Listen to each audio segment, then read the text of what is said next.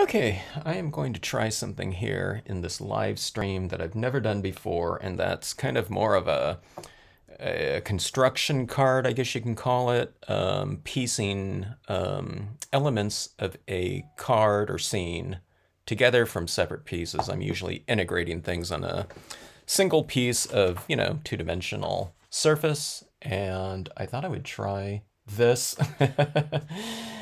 maybe not a great idea to do, you know, completely new things. It, it, it doesn't seem like a hard concept, but, um, a, you know, just kind of live like this, but, you know, why not here? Hello, Diana. Hello, Bugs uh, Mediocre Arts and Crafts.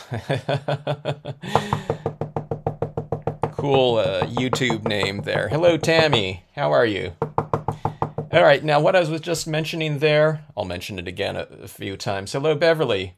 Um, I'm going to try a, a, a kind of a con, more of a construction card here. You know, not a new concept by any means, but it, it is for me. So um, trying it out, and I wanted to do it with that red barn piece again, okay?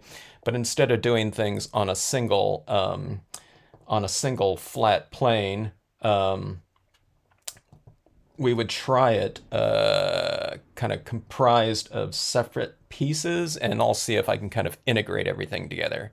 Hello, Penny, and, and Paula, and Jeannie. Karen, how are you?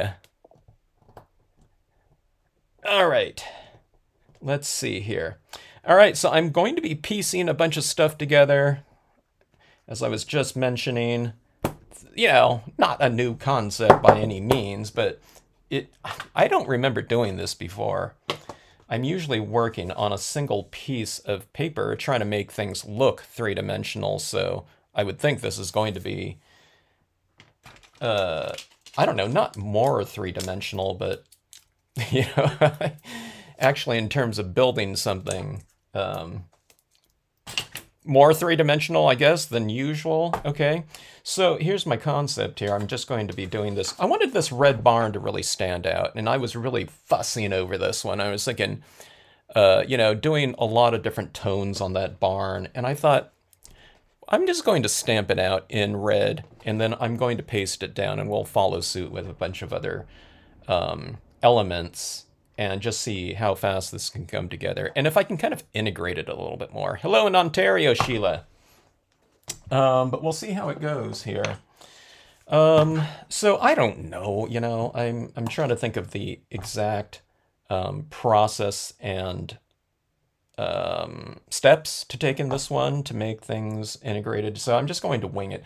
I have pre-stamped a couple um, tree trunks here. Now, like these tree trunks are going to be the easiest thing in the world to cut out. So I thought this would be a good composition for this type of construction. So I'm going to give it a try, but you know, the thing that kind of is going through my mind is, you know, um, should I color this thing right here before I cut it out? Should I put it together and see how it looks and then kind of add in my little elements or what, you know, so I wasn't quite sure about that, but I'm just going to go along here and see how it goes. Okay, now one of the things about this barn is I don't want necessarily want that roof to be red, okay? This is just stamped out on some iridescent paper it was like the only red that I had. I have all kinds of papers, but I don't have like just, I don't know, some basic colors of certain, um, uh, you know, card cardstock. So I'm just going with what I had here, but I thought maybe the um, iridescent might look kind of cool. And all right, let's see. I'm just going to make this barn roof just straight, uh, straight black, okay? So I'm not going to take the time to totally mask this off and tape it all down. I'm just going to do it in steps like this, okay? All right, so um, I guess I can just color it in with a pen too. I don't have to do it with a kind of a sponging method, but yeah, let's see. Uh, I, I, tell you what, instead of the VersaFine Clair that I stamped the image at, I'm going to do it in the Brilliance. So that will be faster drying. Okay, maybe, I don't know, maybe I'll do both or, you know, just color in as well. So this is, I don't know, I, I, I guess I'm going to make this one kind of a little bit more in the spirit that I thought my previous one was going to be, but I ended up doing a lot more toning and things like that on that one. I wanted it to go faster, but um, I get caught up into doing adding these little touches into all my pieces that, you know, I kind of like all the little details in, you know, just artwork in general. So I really spent a lot of time with that, kind of uh, integrating things and transitioning things uh, into the snow and all that. But um, let's try and see what this one looks like. And it might be pretty cool in a mirror card format, I don't know. Okay, so let's see here. This red barn looks pretty good. It's just this straight black roof, I think It kind of makes it so you can kind of do anything with it um, above it. Okay, so the red barn, I mean, it's going to be the smaller version because I'm doing a smaller piece of it. I'm not quite sure what to do in terms of the um, spaces in between. Do I take an X-Acto blade and cut that out in there? I don't know. But that's going to go up against this. Um... You bought some cotton balls. Awesome. you didn't have them already, huh? Okay, so this is going to be going up against, um, no, uh, a blue sky in the background like that, okay? And I'm going to put the snow down at the base here. Let's do that right now, as a matter of fact. Let's get that kind of established here. Um, a lot of people don't have 100% um, cotton. You, you got the 100% cotton ones, right? Um, a lot of people, you know, we have like synthetic ones. I think I had some synthetic ones and some um, uh, 100% cotton, and it was like, oh my gosh, the 100% just worked so much better. In fact, the synthetic ones for me just didn't work at all. Okay, so I'm going to cut, well, let me see. I need to measure here. That snow is going to be like right up in here, maybe? I need to check it with the reflection down here. So let's go like about up like here. Okay, so I guess it's like the rule of thirds, huh?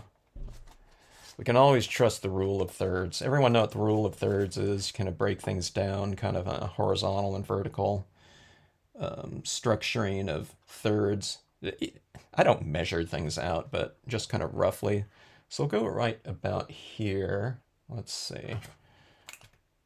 And this is going to represent my horizon line. I'm using a French curve right here. Um, you can do it freehand though, but let's see. I don't want it too swoopy, so let's go roughly about right here. I can't even see it. oh, the flat round discs. I have those too. And those work okay. Um, now remember, I use the cotton for um, pigment inks, not too much for my um, my thinner dye-based style inks. Although the, the dye-based ones, I mean, it worked okay, but I, I, I feel that the uh, the paper towel works a little bit easier for me with uh, just paper towels. All right, so this is a quarter page piece of cardstock. I might be able to get it smoother, you know, with an X-Acto blade, but I'm just doing it with the scissors here. It's, you know, it's going to be close enough, I hope. So this is going to go like this, okay? So let's check out the reflection in the water there, okay? I think that'll get a reasonable degree of attention.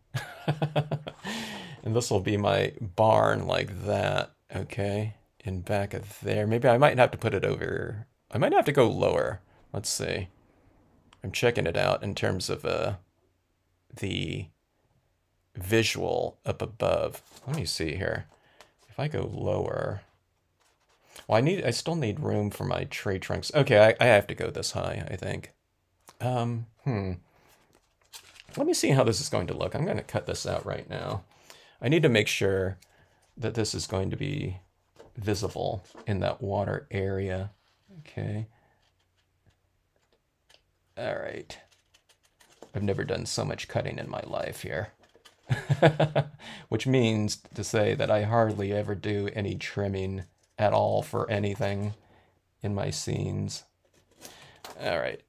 All right, I don't need to cut off the bottom because I'm going to be putting it in the back of this little snowy bank right here, okay? So it's going to be something like that. I might I might need to I might need to mellow out that ridge.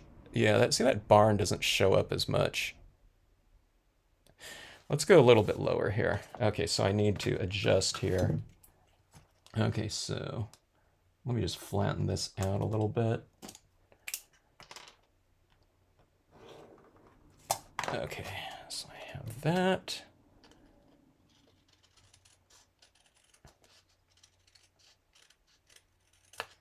All right, let's see.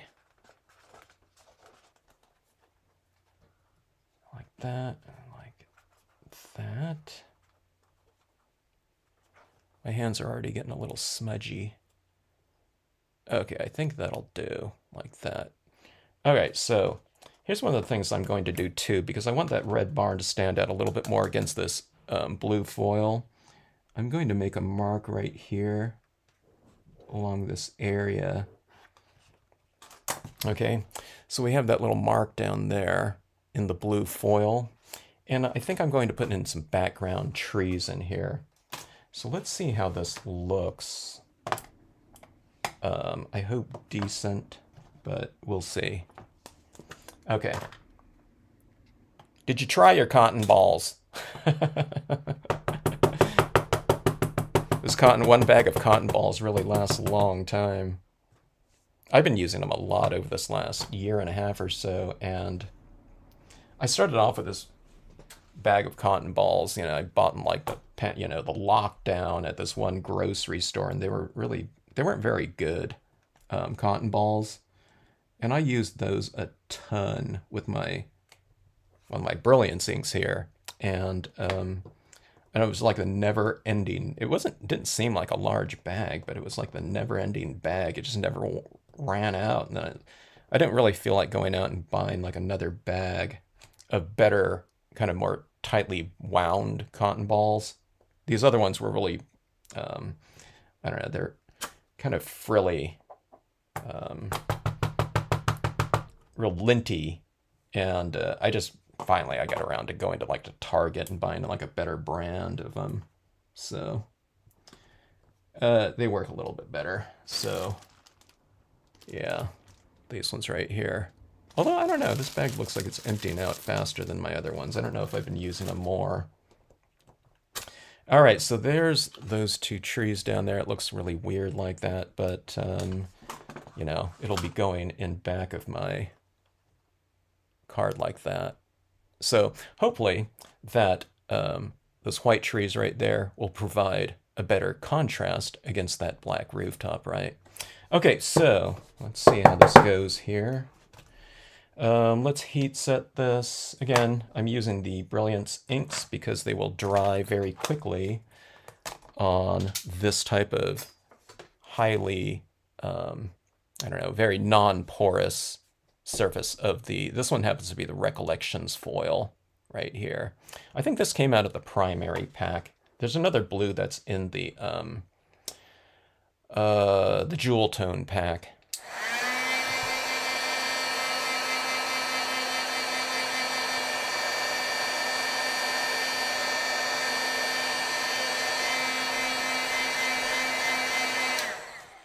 All right, be careful with the um, with the uh, foil when you're heating them up. I find that the Recollections foils, they're kind of textural. I don't know if we can see this, but this one not quite so much, but with some of them, when you look at it really closely, it's very um, textured and you can almost see like cracks in the surface. And then here's one of those things. When I stamp on this recollection, someone asked me about this um, on their piece, whether they're experimenting, they noticed there was a lot of bleed through with stamping. They were mentioning, I think, the red foil.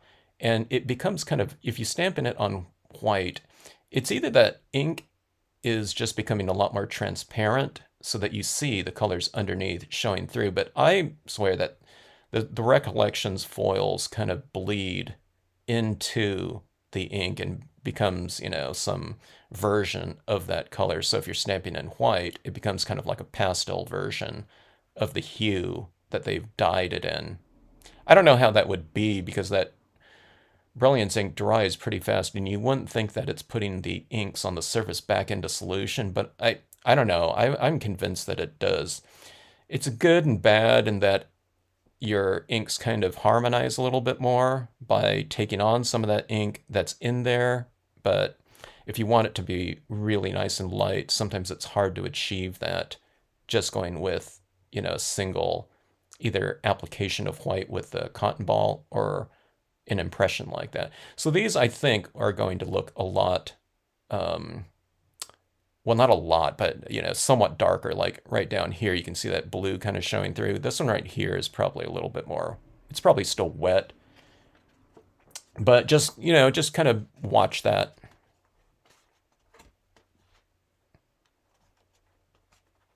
Oh, someone's been watching the channel for years, huh? Well, you're watching me do something here on this video for the first time. I've never glued stuff down, you know, like, you know, I'm going to glue that, you know, this barn goes back here, right? And I don't know, I, am going to have to integrate that in more with the surrounding area. Like right in here, I need to figure out what to do in there. Um, gosh, do I want to cut that out with a little X-Acto blade? Um, Maybe I will. Okay, well, let's see how this goes. I mean, it might all be kind of when you get, you know, kind of to, to the finished piece, I mean, it, it might all kind of work in the spirit of in which this is constructed here. Something like that.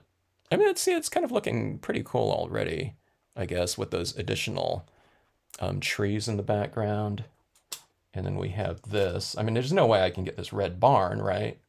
Over that blue foil. I mean, it has to be in a separate um, paper like that. So uh, let's say maybe I'll put it like right over here, something like that. I'm going to have to measure things a little bit more. Going something like that. Maybe I'll put that down there right now. And if, if I need to make adjustments, I'll just do it on, you know, the card like that.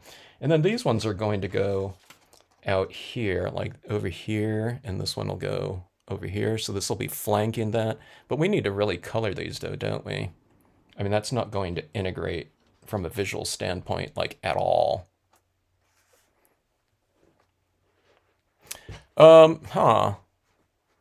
I don't know why you didn't get a notification, Karen. Um, maybe, uh, um, I don't know. Some people are hitting the. Oh, you know, one of the things um, about the notifications is you can hit that notification in on you you know YouTube, but you need to make sure that you're allowing notifications for YouTube in your system preferences. Sometimes, sometimes those are turned off. So I would check that. I don't know the exact thing for everyone's um, systems, but I do know that um, that that would be um, could be a factor. But uh, yeah, sorry I got on so late for you, uh, Karen. I don't know. I wasn't going to jump on tonight, but I thought I want to see if I can do this. It's been kind of twirling around in my head ever since I did this one, you know, a couple days ago. So it was like, I want to try that out. So just jumped on. Okay, so here's my question with this one. I'm not quite sure of what kind of color scheme I should bring, you know, to this right here. Um, but something that'll harmonize with that background. I might just do a, a few different colors, and this is one of those instances where um, I don't have to stay within the lines because I'm going to be cutting out these trees anyway here, so...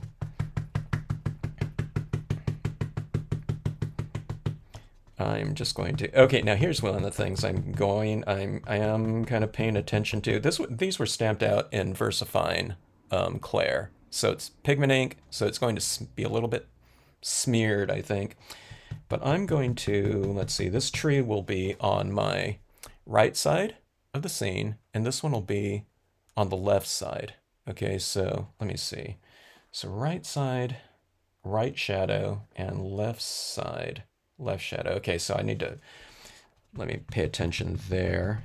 And do that. But yeah, I don't know. I mean, if you get notifications for other um, um, channels, I, I, wouldn't know what to tell you. But um, if you're not getting notifications at all, check your check your system preferences and then go into your notifications um, link and make sure that the uh, just I, I think YouTube, you know, just in general, you're allowing notifications for the site, and make sure that you know um, YouTube is clicked or whatever, checked, the box is checked. All right, so anyways, going on with that, I think some blues, you know, since the scene is blue, right? Let's go on with, uh, have a Danube blue. Okay, going like that. And then we'll also use black. Let's go pretty, let's go pretty dramatic on this one. Okay. And let me see, I'm going to put, I don't, I, am only going to be using um, certain portions of these trunks as well, because they'll be running off the page, both left to right and also top to bottom. The bottom portions will be integrated into the scene, but um, the top portions I'll be running off the page. Let's see right here. Oh, you, your notification came late, huh? Okay.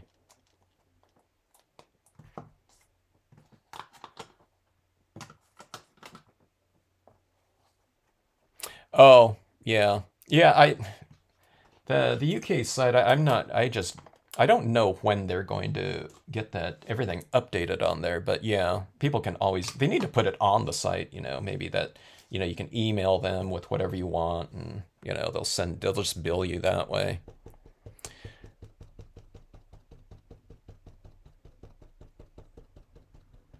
Yeah, right, Karen. Um, load it up with that ink like that.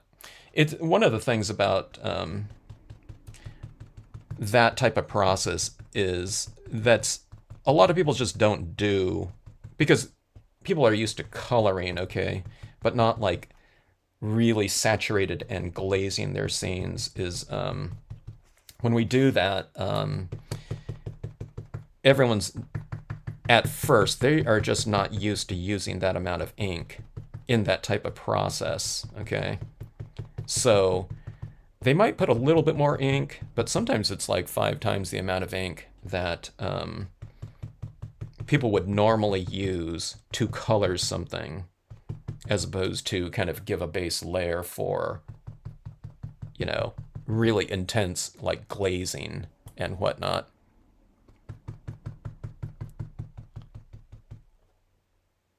Oh, they haven't. Well, I'll I'll try to contact them. Okay.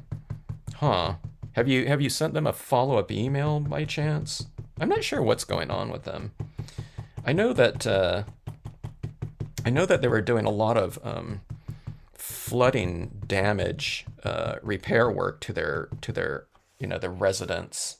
So I'll see if I can get in touch with them for you.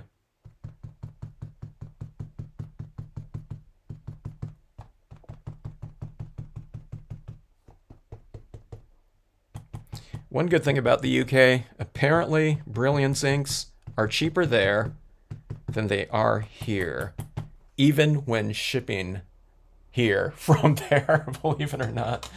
I don't know. There was this one seller. I forgot who they were.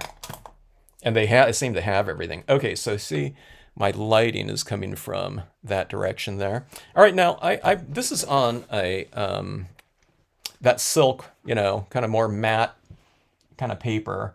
And I thought I'm going to bring in some additional colors into this mix with um, some in the form of colored pencils. And I think the colored pencils are going to be the thing that I'm going to use at the base down here on my snow when I put my trees into this. Okay, so I think I'm going to put some shadows. And let's see, the barn's going to be over here. Shadows this way. I think I'm going to do a little splatter painting with some snow up above. Maybe do a North Star here in the corner or something like that. I don't know if you can tell. See that? Do you notice that these have the have the trees become more blue since you know even from when I stamped it when I've been you know working on these trees right here.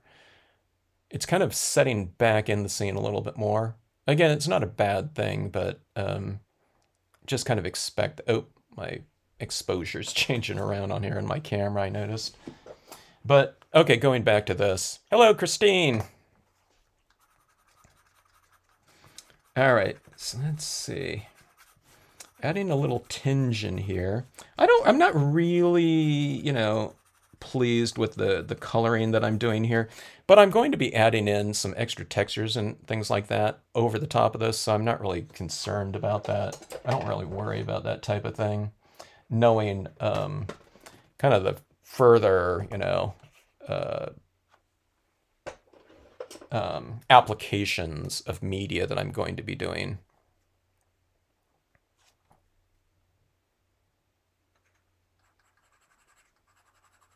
Um, anytime you order something from them, Karen, just just send them the codes. You know, just say you want stamp number, you know, 001A, and then if you want them unmounted, just say the unmounted versions. I, I don't think they even have the wood mounted versions on there. Or if you're doing a set, you know, um, I think they have the unmounted versions. I don't know how many of the cling foam versions they have.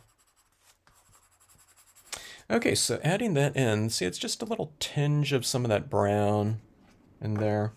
And I think I want to go pretty dark. I, this is a pretty bold, you know, foily type of, you know, background right there. So I think I'm going to go pretty strong in terms of my applications here.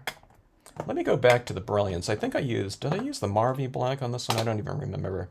So let me go with this one and let's really push um, kind of value and contrast in this piece just because of the nature of it and uh, how we're kind of um, I don't know kind of you know designing this this this piece right here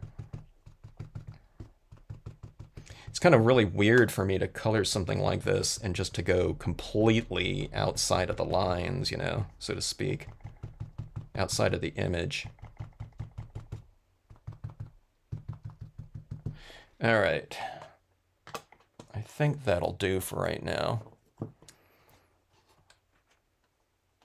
Um, Beth, someone asked me about that um, recently, and they were having cracking, um, breaking, you know, every time they used um, either a manual or electric sharpener, it was um, breaking for them, you know, all their, their pencil I don't know, do we call it lead when it's colored pencils? You know what, I don't even need to cut off this side right here because this side is going to be going off the page, I think. Or is it? I'm not sure. Eh, maybe it isn't. Maybe I'll do this like this. I'll just I'll just cut cut them out flush.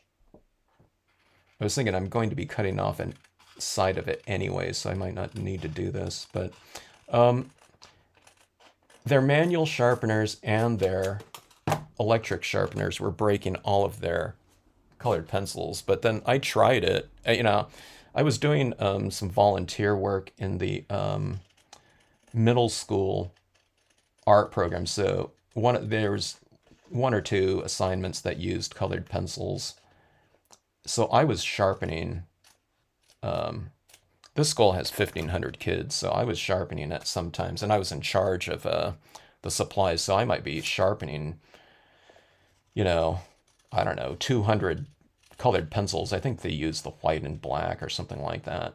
And I never had anything break, but one of the things that I did notice when I was sharpening my pencils is when you go in there, you have to go in just directly like that. You can't, you've got to make sure that you're not putting any weight in any direction because when it gets starts getting into that finer tip, it'll it can break. But I, I usually don't go all the way in there with the electric until it has that auto stop.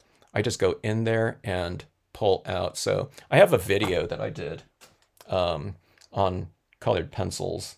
So I don't know, you know, if, if it'll help you, but I did it both ways. I did it with the manual and the electric. For me, I love the electrics. And um,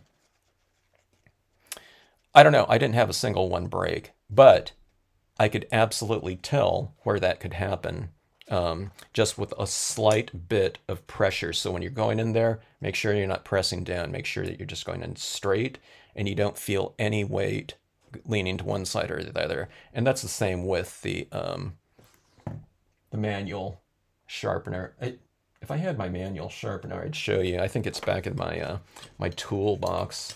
I don't usually have it out. I don't sharpen my pencils very often, but um, yeah, just watch out for that.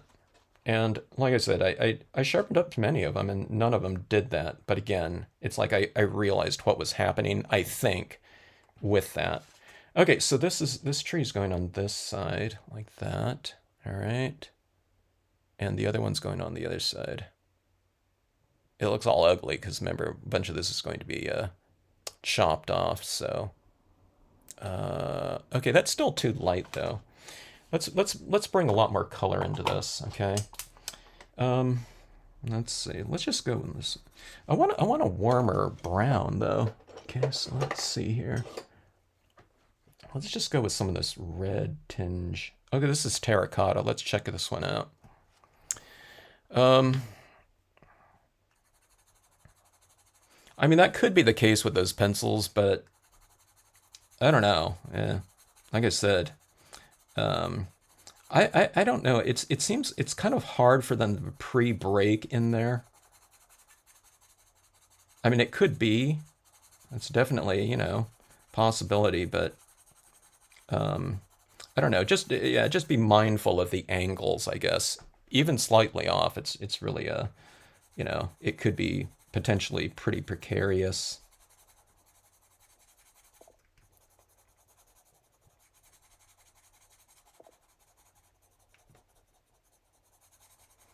All right, so filling that in, and again, I'm going to be putting on like some snow on these with the acrylic paint pens. So again, I'm not too worried about kind of the finish on these at this point in time because it's going to be covered with a lot of media, or not a lot of media, but extra media anyway.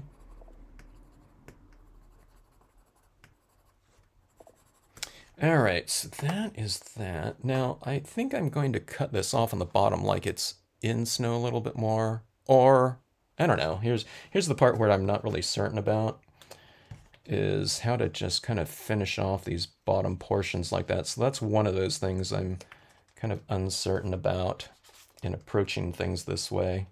And again, just because I haven't done it before too, so I don't have a history of kind of, you know, kind of little, these little tweaks and solutions here. All right. So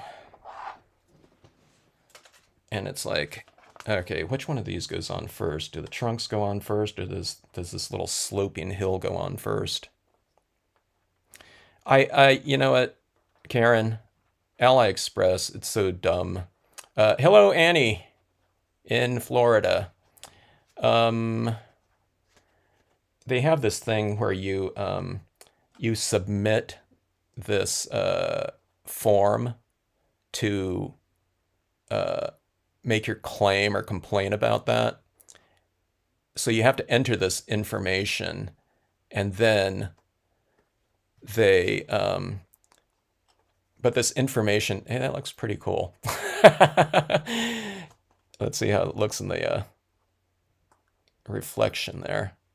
And then, I don't know, this little thing, this thing where you enter it in there, um, it's like doesn't work. So it just spins and spins and, and says, oh, there's a, there's a problem. So they have this kind of official thing where you're supposed to complain, but I think it just purposely doesn't work. Okay, so it goes like that. And then let's see where this barn's going in here like that. In the background, that that barn doesn't really integrate very well uh, at all. but let's see if we can get it to integrate a little bit more, okay? All right, so let's see. I might have to go, I'm kind of tweaking it right here. I'm tweaking the composition as we speak, okay? So it's hard for me to tell where all this is going. The bottoms of the trunks, though, they look pretty good. I'm kind of surprised at how well they're integrating. Okay, so one, two, three. We have three layers right here. And let's, okay, let's just get, let's get just get right into this right now. Let's go with this like that. All right, let's just mark this off like so. Okay, and go on the top. Okay, so let's just tape this down.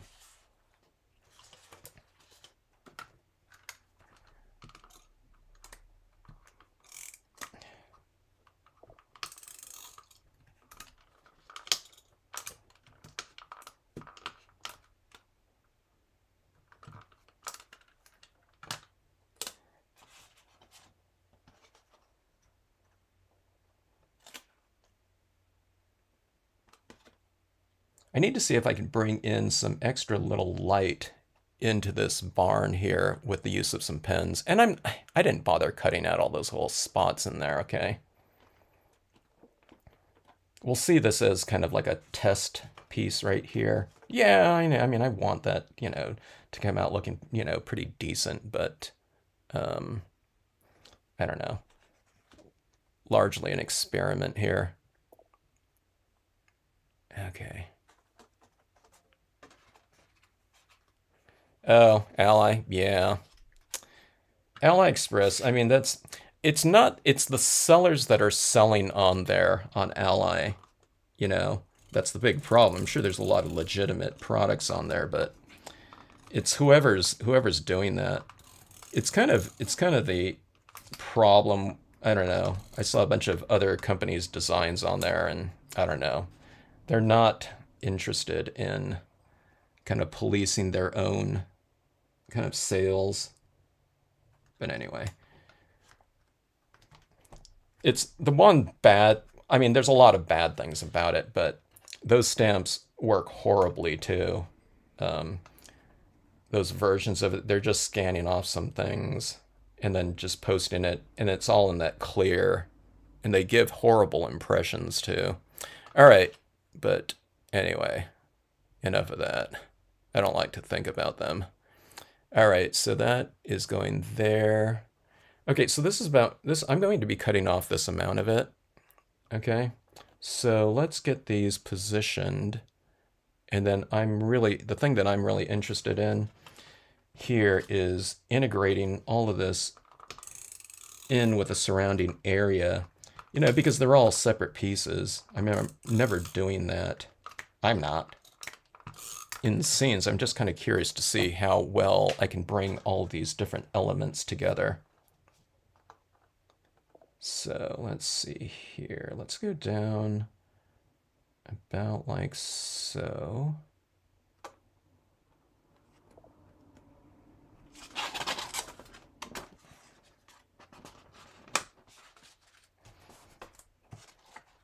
All right, stickiness right here. And we have another piece. Now, one of the things that's going to be, one of the things that I'm looking at right here too, is that there's a lot of um, textural kind of, oh, I don't know, textural elements in here that aren't very well integrated. So um, we'll see what we can do with that um, in terms of like the white opaque acrylic and let's see, let's get this, eh, I'm trying to think of, I want this a little bit more on that, a little bit of a peekaboo area of the sky like that maybe. Okay, let's, eh, but that, that barn can't be seen. If that, that's that's putting too much pressure on that barn right there, I think. Let's go over here. I think. Let's open it up. What do you guys think? Well, I'm just going to do it because there's a there's a delay in this uh, um, broadcast here.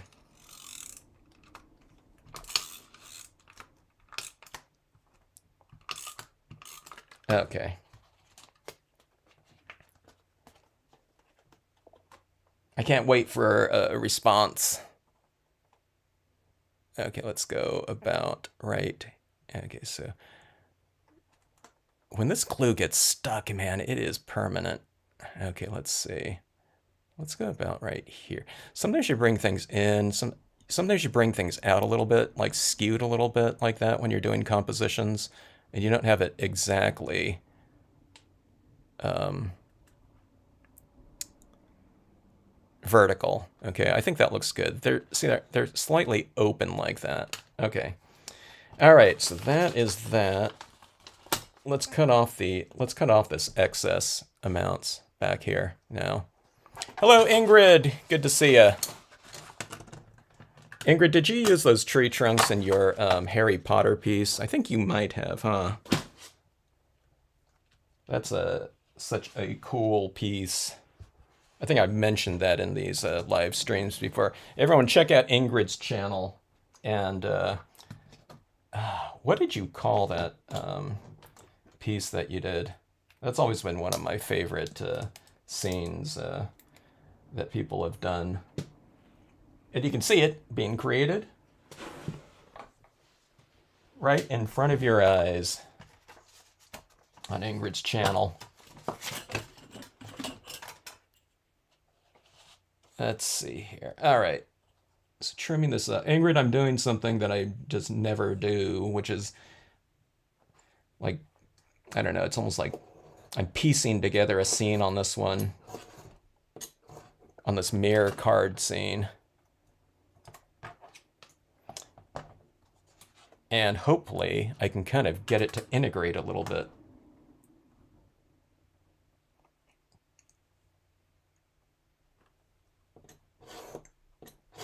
In that scene of yours, Ingrid, um, this is what I always think about. You put it in a good way, but you said, you know, sometimes your scenes in working with it's what it is is when you're working with so much kind of free form kind of applications of media, and you're building um, kind of that media together.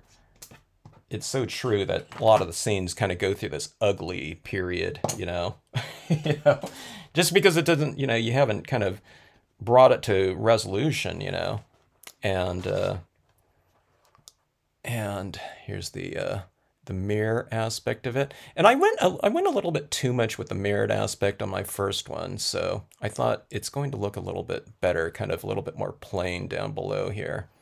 Okay, so I really need to um, introduce an element of um, variation within that barn. So I'm hoping I can do it with um, some pens, maybe with some lighter versions of something. I don't know. Let's see. Um, here's a lighter ver I, I could use my, we are talking about sharpening colored pencils. This one's a little bit dull, but let's see if I can kind of bring some of this in to the barn. I don't know if I can. Maybe I picked out the um, the lighter um, version or a, a more uh, porous version of that paper right here. I'm working on that iridescent, so yeah, it's invisible right there. Okay, let's see. Okay, here, this is working right here.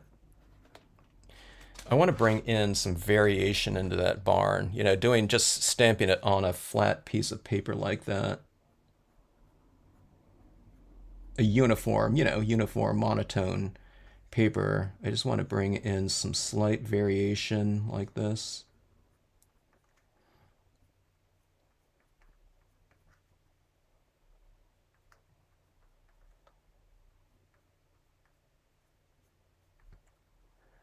Okay.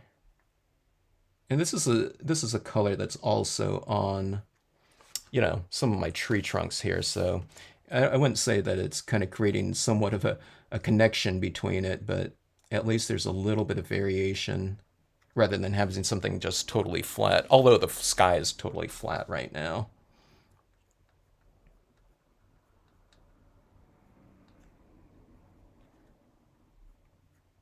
But the sky isn't like a, a, a visual kind of focal point though either, so if you want to bring a little bit of richness into a piece, you know, you want to do it on your um, kind of visual anchor points, focal points. Okay, this, I do need my colored uh, pencil sharpener. Maybe when, whenever I ever do uh, colored pencils, I should I should have my sharpener on there just to show people. Okay, so here's black. So I'm adding in some highlights with the uh, with the lighter tone and adding in some darker with this, okay? So shadows, shadows in the darker area of the piece and highlights with the light, okay?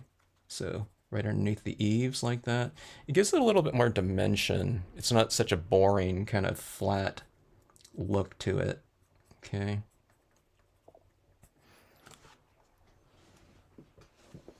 Yeah, uh, Ingrid, I like the um,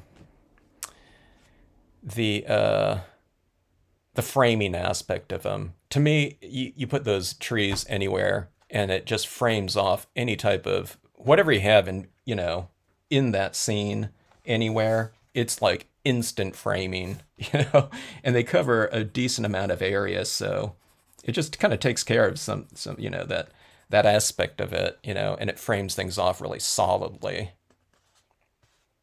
Yeah, I'd love to see how you've organized your stamps there, Karen. Yeah, I've never done this before, Ingrid. And I was kind of mentioning to people, maybe it's not a great idea to be doing something for the first time, like in a live stream. that degree of kind of uh, um, experimentation. First of all, because I when I do that type of thing, it's pre-recorded or um, live stream, I there tends to be like an extra amount of like, uh, you know, it's like, oh my gosh, you know, someone plays a drinking game where every time I say, uh, you know, they're gonna last like two minutes.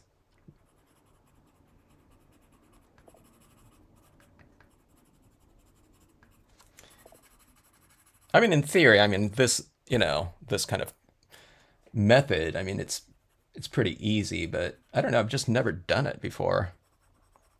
But I wanted to I wanted to see how it looked, like especially in the background and uh, on this foil type of thing. I mean, there's just no way that I can get that pure red, you know, against that foil. There's just no technique where I can apply that red on top of the blue foil. So, um, let's see. Let's add a little bit of tone like that. Um, when I spray seal this too, everything will get a little bit of the same kind of um, finish over it too. So that plus a couple little things I think should bring this together a little bit more. And like I said, I, I still have some little tricks that I'm going to try out here with the um, with the acrylic paint pens and, you know, some Dr. Martin's here. All right.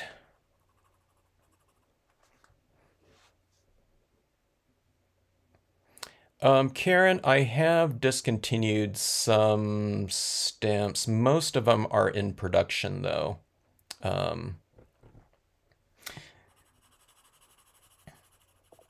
and what you mentioned there, Ingrid, that's like completely what I'm trying to do in them. Um, you want to feel like you're in the scene. So what I'm going for is like a really immersive type of uh, experience. So that's why I was mentioning to people in the other streams or, uh, you know, in my other videos is I try to add in, we're working on a two-dimensional surface basically, but, and these things are visual, but when you add in things like the, um, the real textural types of touches in pieces and, you know, for me, the white paint, uh, pigment ink types of touches, it kind of enters into the mix this um, kinesthetic type of um, element of uh, space, I guess you can say. So when you add in those other things like that, it's visual texture. It's not physical texture, but when you add in all those little elements like that, I think it lends itself to kind of a more expansive kind of a um, sensory thing. And the more senses we kind of engage with people, kind of the more kind of immersion um, potentially we can get from that, or we can kind of uh, convey maybe. So um, let's see. So in regards to, yeah, that immersion and kind of the going into the scene for people. Um,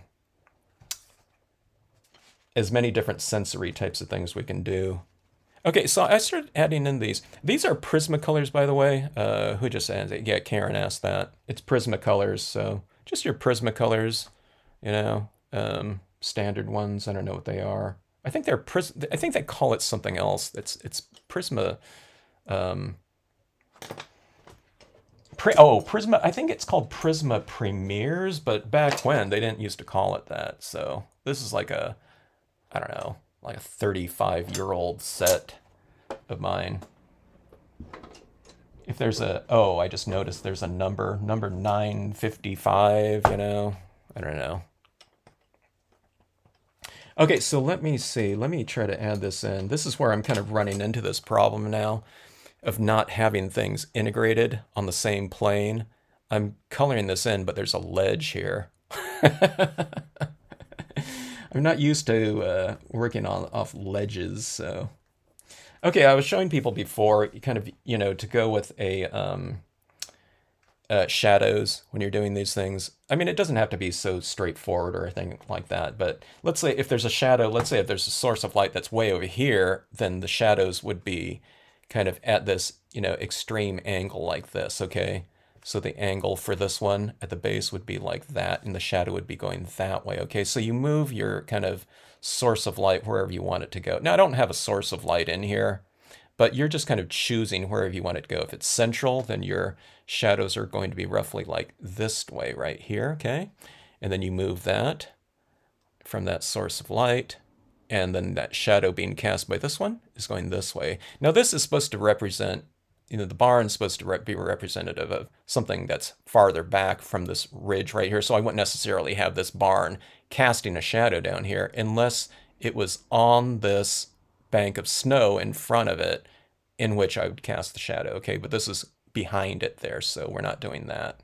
All right, so let's see. Let's do these shadows in a little bit of bluish tone. Let's see, I'll just make my shadow, let's say it'll be something like right here, okay? So you go like this, and if you want to check out the angle, the angle for this one is like right here, see that? Okay, so, and I'll blend this out too. I have to do a lot of blending again because uh, because of this ridge here, so. Okay, so that's roughly like that, okay? And then this one, I think I moved my paper. so this one's going to be like this, okay? Like that. Now, this isn't taken into account this the slope of the the snow or anything like that. Okay, I, am not. I don't. I, I may. I don't really consider that too much, although that would be part of the equation. All right. So again, this isn't a graceful kind of transition right here. But again, I'm going to be using some other things in here. So let me try to get in this little crack here too. So this is this is the part that I was kind of worried about. Well, I wasn't worried about it, but was that was the type of thing that I was thinking about. Okay, if these things are going to be kind of in the snow, how am I how am I going to handle this little area down here? Okay, this ledge. I guess I could have stamped it. I guess I could have stamped it on this, like this trunk could have been stamped on a larger piece of paper where the shadow is kind of part of that. So it's on the same slope maybe. But let's just see if I can integrate it in there. Okay, so there's there's some blues like that. Yeah, Ingrid, that's mine is older than that, but that's a that's a pretty old set there. They last forever, don't they? especially with certain colors. now, if I was a kid, you know, um, growing up, and it was like my crayons, you know, you get that new box of crayons in every class every year. My purple one would have been totally uh, used up.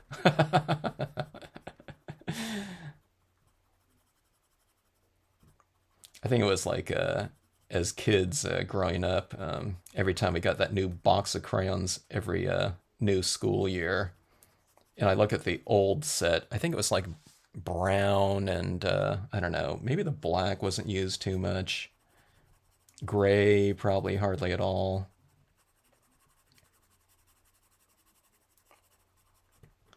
Okay, so adding in these colors like that. Were there any other questions?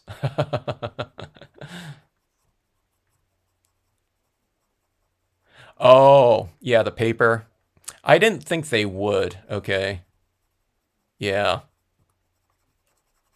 A lot of commercial paper companies, um, you know, they're used to selling, I don't know, you know, enough paper to supply, you know, the printing of, uh, you know, some run of some publication or something like a textbook, you know, they're running, you know what I mean?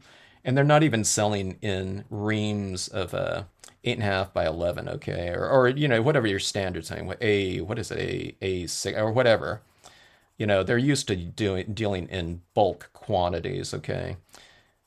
Um, a lot of these, even out in the US, you know, um, there's not a lot of companies out here that just also have their stuff just direct to the public. So you might have to find like someone that buys from them in smaller quantities that would also sell something to you like that. Okay, so I'm spending a lot of time. God, this video right here, it's like a lot of time just on my little like one like quarter inch area right here. Let's add a little bit of uh, lavender to that shadow area as well. Okay, like so.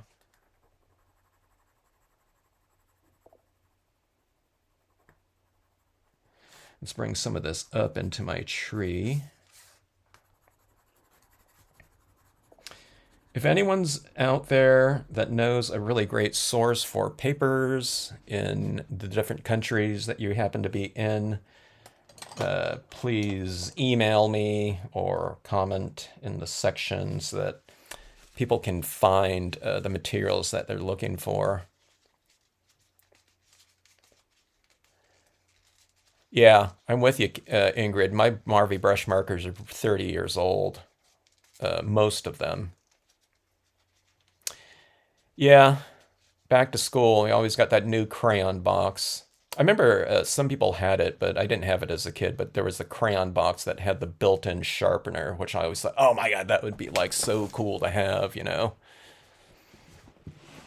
Uh, the barn is um, this red iridescent paper. It was the only red that I happen to have. I have no idea what this paper is right here. Foil right here, Recollections foil. And the tree trunks are just like on a matte cardstock, so they might have looked better in glossy, but I wanted to use, I wanted to have the free uh, ability to put the um, colored pencils on there. Okay, let's let's see how this is looking right now. Okay, in the reflection area like that. Not too bad. All right, so let's go in. Let's see, let's see if I can do something right here. Um, that's interesting. You like the smell of crayons. I do too. I like the smell of all media. I think this is looking, that's not integrating very well. Okay, that's an alcohol pen. Okay, I wanted to see if I can add in some other tones in there. That's looking too extreme. Now, when I spray seal that, it's going to integrate that. Those harder marks like that, no problem. The whole thing will get darker when I spray seal. But, okay, this is totally um, smearing around my... This is VersaFine Clair here. Okay, that's going to get much dark. I might have to... This one here, I might have to leave you guys and go spray seal this. It'll take me like two minutes, but it's just it really needs that spray sealing to integrate these things a little bit more. Okay, here's the thing that I'm looking forward to right here. It's this, okay? Let's start bringing in some of this element into here on the trees and whatnot. I love the smell of crayons. I, you know, I used to do a lot of photography and in classes we develop our film. I love the smell of fixers and developers in the darkroom. I like, I don't know if I like the smell of spray sealant or something like that, okay? But I don't mind it. Some people it really stinks, okay, if they're if they're just not used to it, but all the um you know, the different AD markers, those harsh like xylene markers and stuff like that. I don't know. Some people get like, you know, like a buzz from using those too much. But um, yeah, all those different uh, types of uh, media out there. I don't know, maybe it kind of takes me back too, so I kind of like it. Okay, so let me go in with this and we're going to bring in this kind of textural element to it, okay? And I feel that I need to bring in this textural element to kind of harmonize with the um, the different levels in here. And then we'll bring in some white pigment ink as well, okay? I'm going to be putting in this, I don't know what it represents, um, some snow on the tree as well, like this.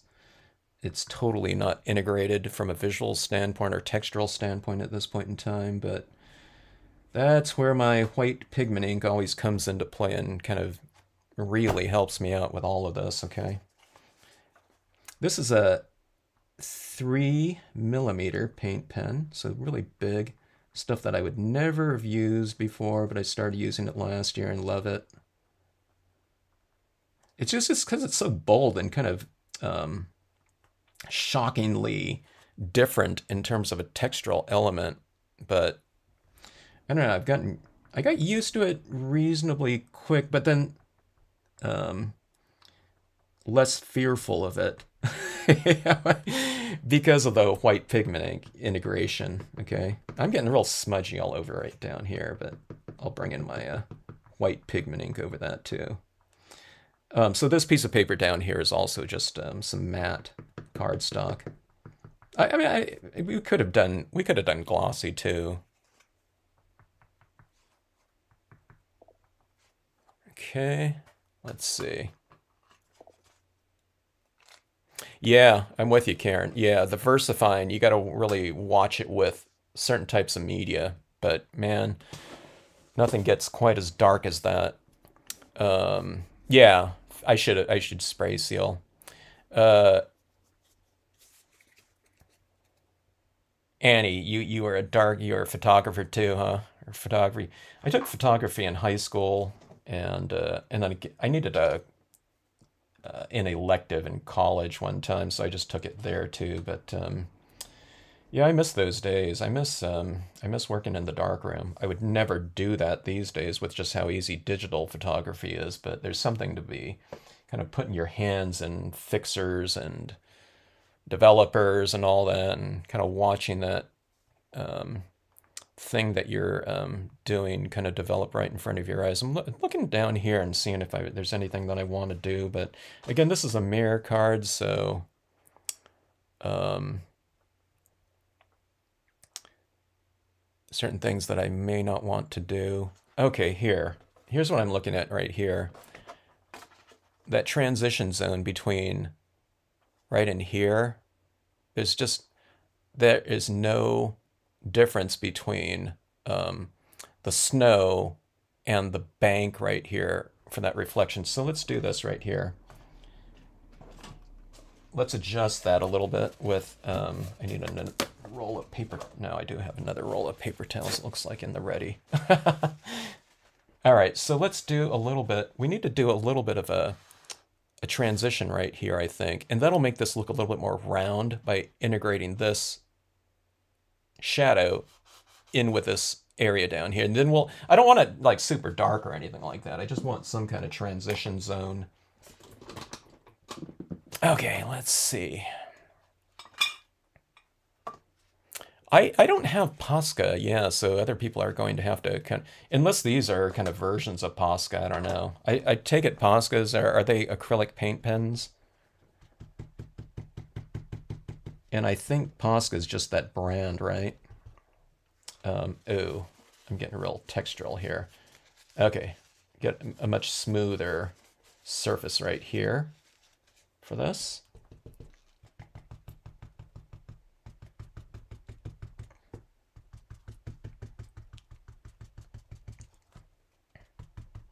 And again, you know, you don't have to be super careful about this if you use white pigment ink because as I'm applying this ink down here, it's a little bit rough and things like that, but I just know that I can just go back over with the white pigment ink, okay? and it just kind of takes care of all that. It takes care of all my uh, my problems. Okay, let's let's go like that. So see that little ridge down there? It's just kind of subtle.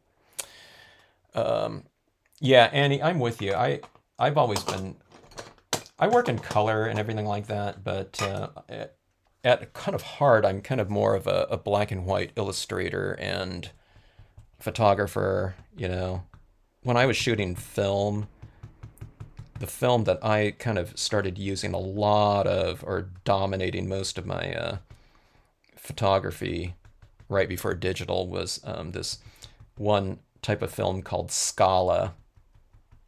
And it was a black and white um, slide film. And I just love that one. So when you see a scene like this, for me, I mean, it's it's about color. It's integrating color and everything like that. But for me, the thing that I'm looking at is contrasts, you know, and that's something that contrasts and textures, which is, you know, kind of the thing that's with black and white. So this is what I always recommend to anyone is um, when you're doing scenic stamping or something like that, yeah, you know, work with colors and things like that, but periodically just do some things just in grayscale, black and white. And it, it really kind of, um, hello, Jen. It really kind of um, sensitizes you to those things so that when you go back to color and everything like that, your sense of color becomes much more acute, I think. Okay, I can't see that right now. I have my exposure on, so you can barely see this, but you see, let's see if you can see this right here. Can you see that? Um, look at that, all that uh, purple and blue down here. Let's make it a little bit more blue. Let's integrate it with this um, color. So let's go in with the memento. Or maybe better yet, let's be a little bit safer and go with the Bahama blue here. Okay, let's. Let's bring this down in here like so kind of the water's edge type of thing. Um, my favorite photographer right now, contemporary photographer, is this guy named Clyde Butcher, and he shoots all black and white. I don't know if he's gone digital yet.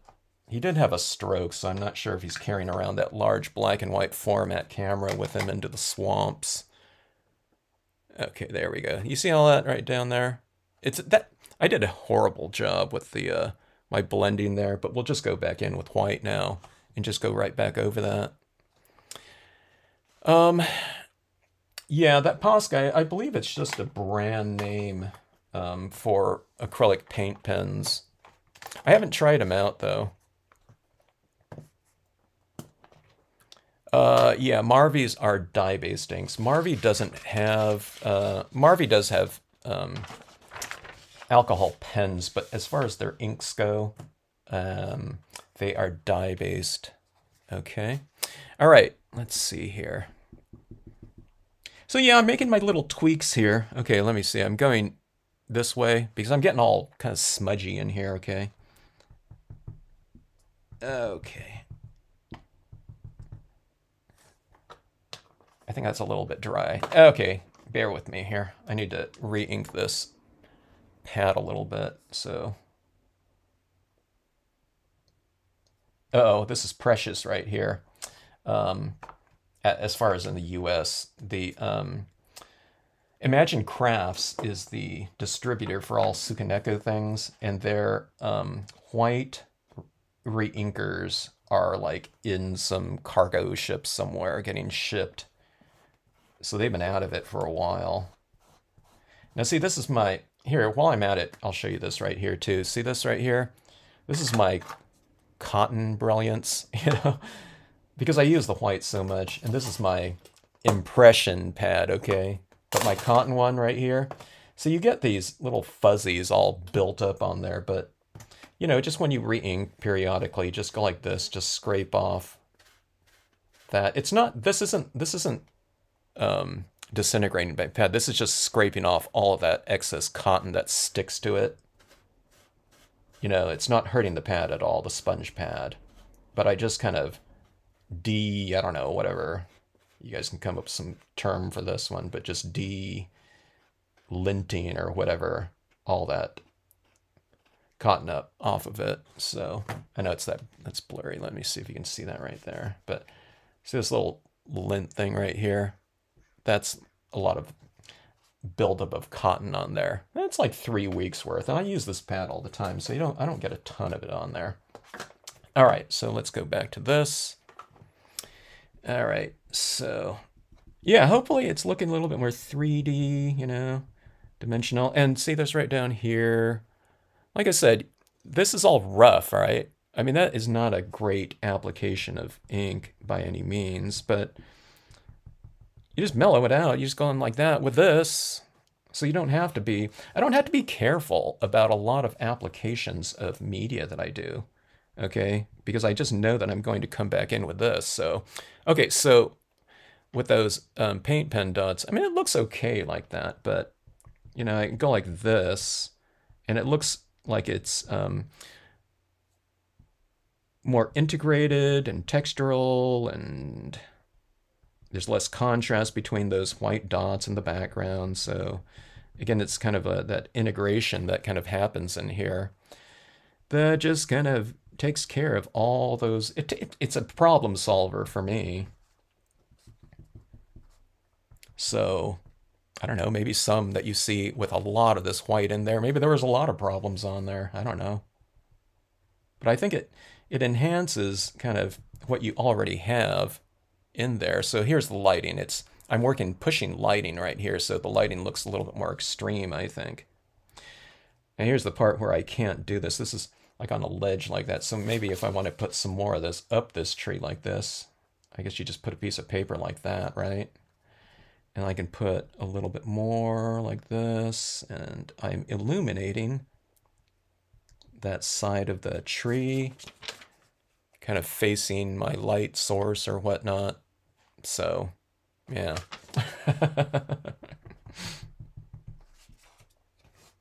I mean, sitting here in person, I mean, I can see those edges. Oh, I can see that edge right there a lot. But I don't know.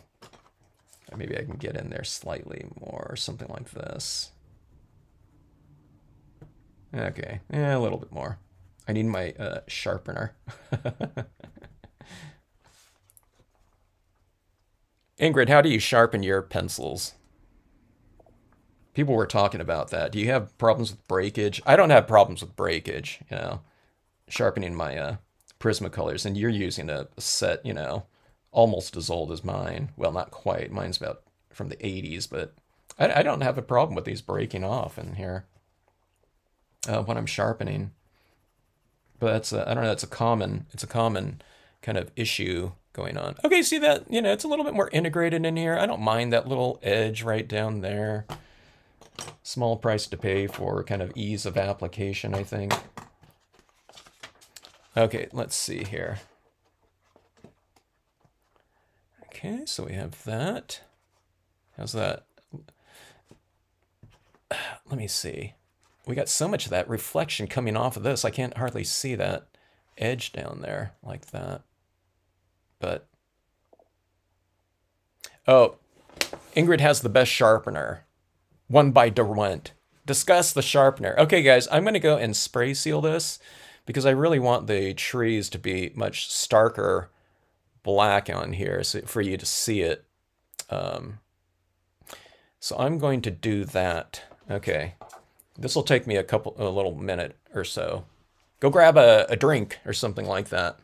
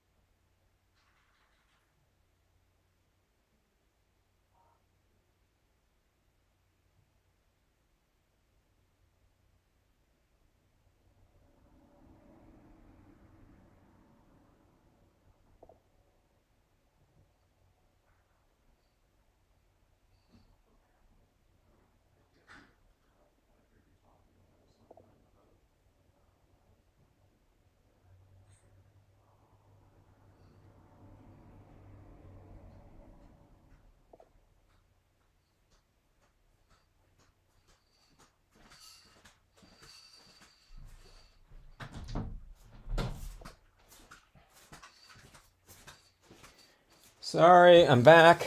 Okay, so this is what I spray sealed with. I just spray sealed with the UV resistant clear. Hopefully, I don't know. I think these trees are darker though, right? It looked like it got darker when I was out there. Sometimes it dries and it's not quite as dark, but I don't know. Um, I think, it, yeah, I think it darkened it up there. So again, it's a little bit more integrated too, I think. You know, I didn't spray too much in here, didn't need it, so I spray sealed like, I hit it out, out here and here, okay? Um, okay, so let's see. I'm trying to think if there's anything else in there that I want to do before I hit it with this, okay? I'm going to put a little bit of texturing over this whole thing with the um, uh, Dr. Martin's, okay? So Dr. Martin's Bleed Proof White. All right. And from a just from a textural standpoint, it'll integrate everything a little bit more with a common texture. Okay, you know, how much I use on here, I don't know. All right, what did everyone talk about here? Did any, anything come up good? Derwent sharpener. I don't know. What is that Derwent sharpener? Is that a electric or is that a manual? Did you mention that up there? Huh. Oh, manual. Okay. Yeah, it, it, uh, Ingrid, do you get, you know, you don't get any breaking, right, of the, uh, of the, uh, the, I don't know, do you call it pencil lead? It's not lead, but, you know, the colors. I don't know, what, what about everyone else, you know? Everyone else have some good, uh, kind of, uh, solutions with the, uh, the the pencil, the colored pencils. Like I said, I never get any breaking, so um, and I've used I don't know I was using those ones at the school too. The you know those you had these ancient uh, kind of electrics you know to use in there. Um, I don't know. I never had a problem, but I I, do know I don't think we were using pencil uh, prismas at at the school though. Okay, I think we were using I don't know some other brand that was cheaper or something like that. Um, as far as I, are, are Prismacolors too, are they the softest of all the um, colored pencils out there? I think someone said that before. I was looking on some colored pencil forums because when I started using colored pencils more, um, I started getting a lot of questions about them. I was like, I'm like the last person that anyone should ask about colored pencil anything because I have this set that's like 35 years old that, you know, I hardly ever used you know, most of these things were like still. I mean, a lot of these pencils in this thing are still like really tall, you know. I mean, I barely used them, so I started using like colored pencils like last year. So, um, all right, I need to clear out some space here. So let me get all this stuff out of the way. Okay, so let's hit this. Um, with some of this bleed proof white. Someone is mentioning that my bleed proof white looks really thin, and it is really thin. It's thinner than I'd want, but I was combining three different jars, you know, because I used to go out and use these in, I think it was make and takes, I, I think. So I just had all these different jars of it around. I thought, eh, let's combine them. And then one of them was just a solid brick of like super hard um, watercolors, so paint. So I really added too, way, way too much water to it. Okay, so let's see.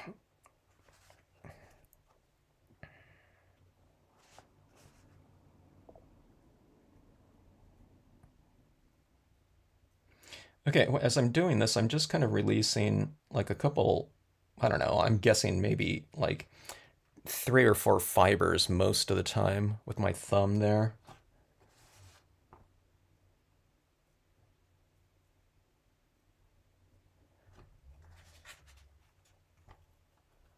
And let me get a little bit more.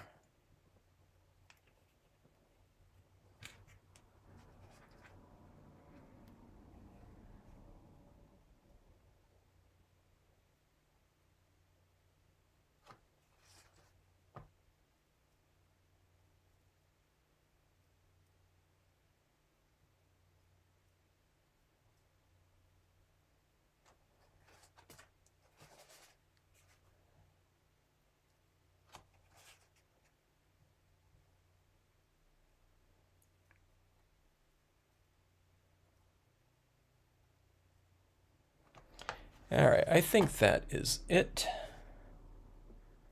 I love splatter painting. It takes me back to uh, that time once in kindergarten.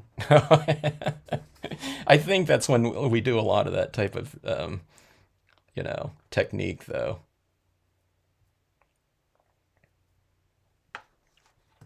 This friend of mine was making a like a diorama for his uh, kid brother when we were in high school. He had a really young little brother and was making a diorama for I think the his Micronauts characters or something like that, and he did a splatter painting technique. I was thinking, I haven't seen anyone do that since you know like years, and that was at that time.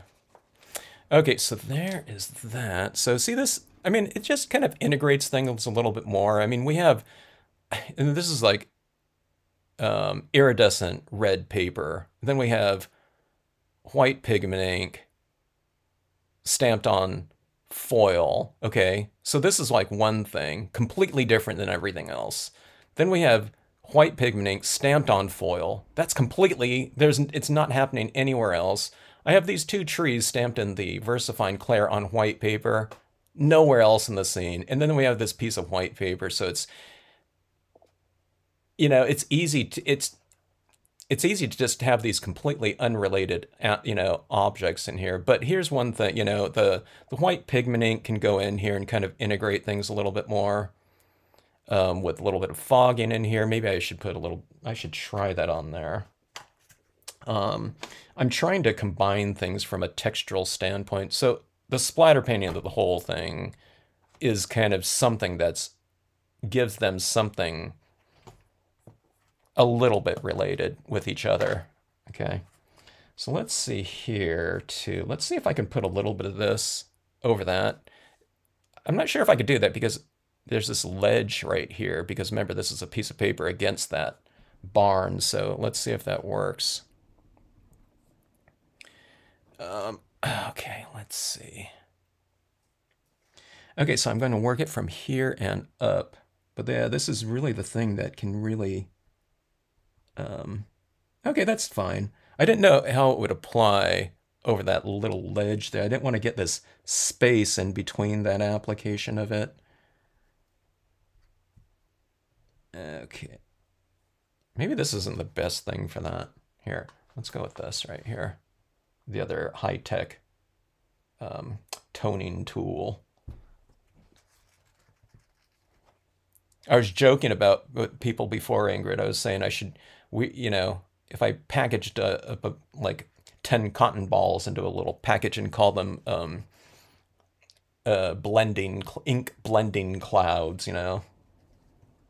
We'll see how well those would uh, would those would move. so what would you call these? Detailed, de extra fine um, blending clouds.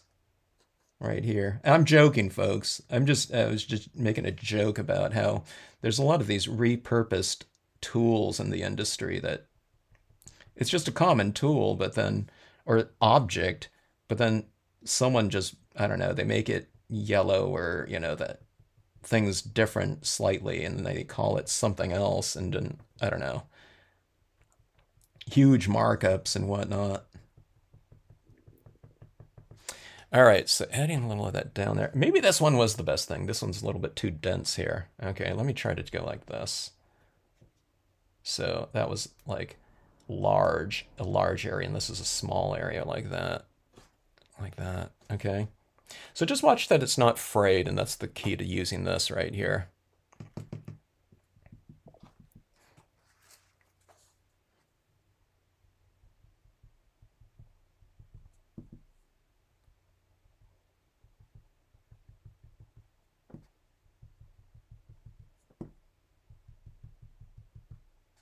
That's kind of solving that little area in there be between that barn, you know, that kind of that open area right in here, you know, that I didn't cut out that was all red in there. So you can just kind of obscure it a little bit like that. Okay. And let's put a little bit more over here too.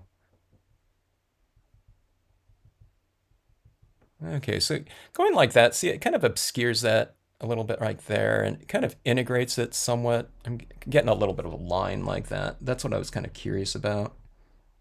But I don't know, just having that little element in there. Okay, now let's go back in with this too, and let's come back over here. I've spray sealed this, so um, when you do that, you can lose a lot of your um, white in here at times um, that you've lightly applied. It kind of disappears as if it were um, something like pastels or something like that. Light pastels, if you spray seal it, you know how it gets darker. That happens when you with this a lot of times. So you can just go back in and reintroduce some of that. Now see if I spray seal this again, that'll um, decrease. And remember, when this dries, it becomes much more transparent. So that's not going to be as light. So sometimes when you're applying this type of thing, you apply more than you think you're going to need, okay? Because it's going to dry darker, okay? All right. So let's see here. Okay, now I think this is looking pretty decent at this point in time. I'm going to make a focal point up here in the form of like a North Star. That's what I want to know, uh, Candy. I was going to get, I used to use an oil-based white paint pen from, I think it was Uchida, and I think it was more opaque than the acrylic ones. I'm almost certain of it and I was thinking about getting a, a, set of those, but I have a feeling they won't last as long. I think they clog up over time a little bit faster, but I'm not sure. Um, but they were really great. Sometimes I want like a darker, I mean, a, a more, a lighter, more opaque application of something. And it was kind of shiny too when you put it down there. All right. Um, but yeah, it was the, it was the Marvy, um, it was the Uchida white. I don't know what it was called. I don't think it was called white paint pen. I think it. I think the Sakura one was a was a like this one because it was very translucent and water based, and the Marvy one was the uh, or the Uchida one was the uh, was the oil based one. It just, it had a really different characteristic to them. In terms of the finish, it was very shiny and raised with the oil aspect of it.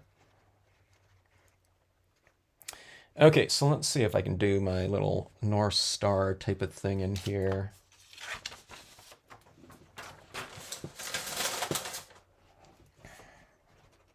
Okay, so what you do on this one, you can practice on a separate piece of paper too, okay? So, and in here, see all these little white splatter paintings, you know, I would go in and add in kind of a little bit of variation to it. You know, has some larger ones just hand drawn in like that. Kind of cluster them sometimes, or you can put in your little constellation in there. I always mention that if you're giving a card to someone, you can do little things. I, I've put like people's initials in there before, kind of hidden in the stars.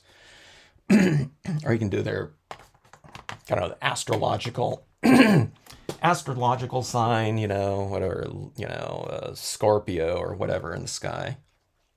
It's something that they would probably never, no one would ever notice, but it's those little things that are kind of fun to do from a, um, I don't know, just, you know, from a creator standpoint. It's those little things that kind of you do um, in your pieces, you know, to keep your your own interests going, you know, those subtleties like that.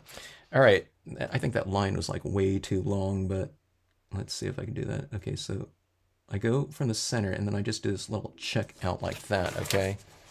So every direction you go, you kind of just do this little check mark, okay? You don't want, and you want it to go like this, okay? You're not going like this and up, okay? Otherwise it's just too straight of line. But you can kind of, you can, again, you can kind of, um, you can definitely tweak things too. Like say you get too thick of a line, then you just take, you know, a little X-Acto blade and just shave off, you know, the part you won't want. So that was a, that was hardly a, a vertical little line, but oh well. Okay, so I go, go like this. Here's one of those things that I do too. Um, landscape format, I go with a longer um, horizontal arms like that uh, you know, if it's if it's portrait, I go with you know the longer elongated verticals, vertical um, sides, and then For these little secondary parts, I just go with a little check like that. I do them secondary. If you're doing if you're doing an eight. And see I'm kind of covering this up so I don't kind of rub off all those little stars underneath like that.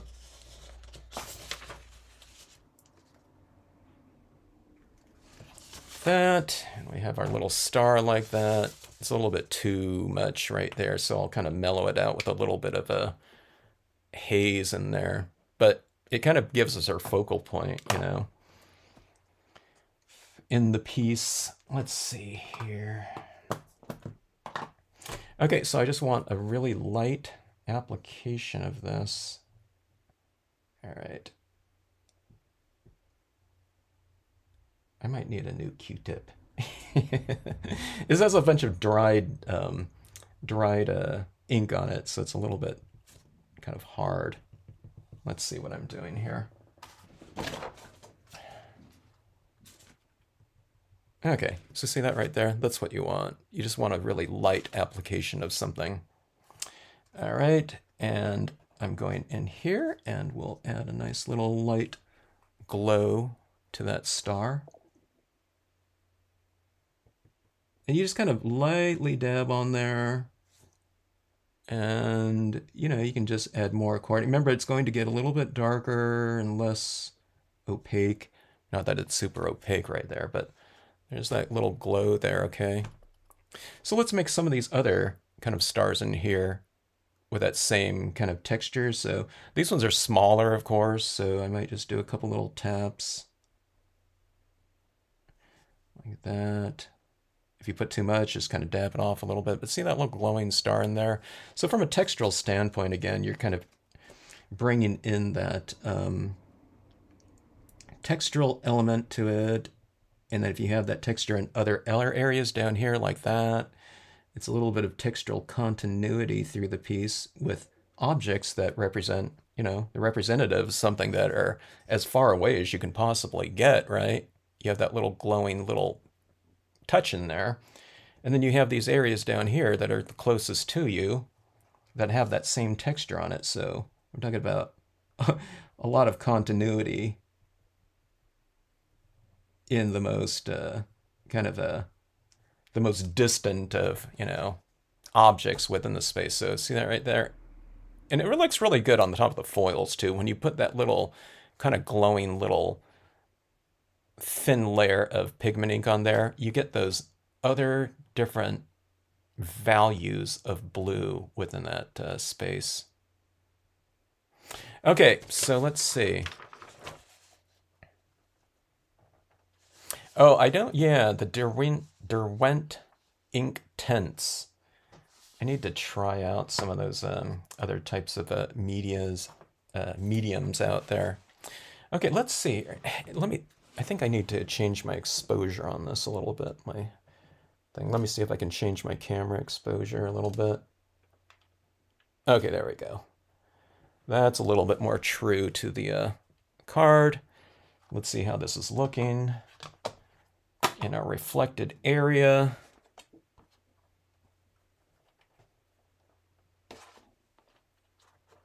All right, so we have that. And I'm not going to do too much down here, okay? I, did, I went a little bit, I think I went too much on it on my previous scene.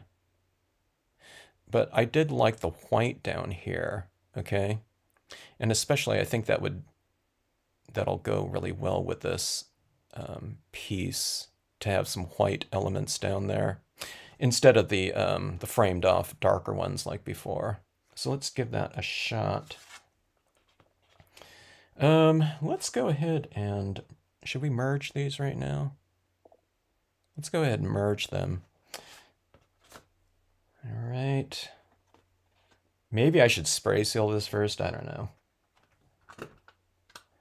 So this is the this is that cheap um, foil right here, you know, of the uh, the recollections. It's like on, I don't know, it's like on butcher paper or something like that. But um, I don't mind. It's uh, it's like totally cheap um, foil, especially these days. You know, you can buy a pack of uh, 25 full-size sheets of uh, an assortment of foil colors. I think that's a really good deal, even at full price, but they're often on that buy one, get one free. So, all right, so let's see here. Let's go down like this. Remember to leave a little bit of space so that it can open and close freely. It looks like I made one, this piece is larger than, these are all like four and a half by five, you know, four and a quarter by five and a half uh, quarter page pieces, but I, I think everything's like all the different sizes here, so um, something like that. I don't know, maybe I should have merged it a little bit closer, but I'm not going to get that unfixed right now. So remember, if, if you guys watched that one scene where I uh, I left too much space in between, there was that big white gap. Now it's like a big black gap like that, but who cares? All right, so down here, let's go with the, um, the Brilliance, white. I'm going to use that same quote too, I think I did in the last one too, I think. Um, let's put it just right down here, okay? So if I do a reverse out text, I can't put white up here because it's going to be a white text on a white reflected area, so it's going to have to be in this darker area down here, like so. That would make a good Christmas card. It wouldn't take you that long, like I'm doing on this one. You know, if you just kind of follow it along, because I, I had to figure out a lot of things on this one on the fly. And especially me not knowing how to do it too. All right, so let's go. Okay, so I'm going to do the text first because I, you know, if you have text down here, you want to work the other elements around it. You don't want to put a bunch of like pebbles and rocks down here and stamp your text on top of it, and then you, you know, there's a rock going through the R here or something like that.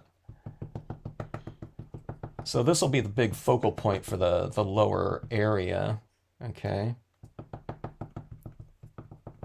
And I love that floating text kind of illusion of this down here. Uh, let me test it out one more time. Let me see where.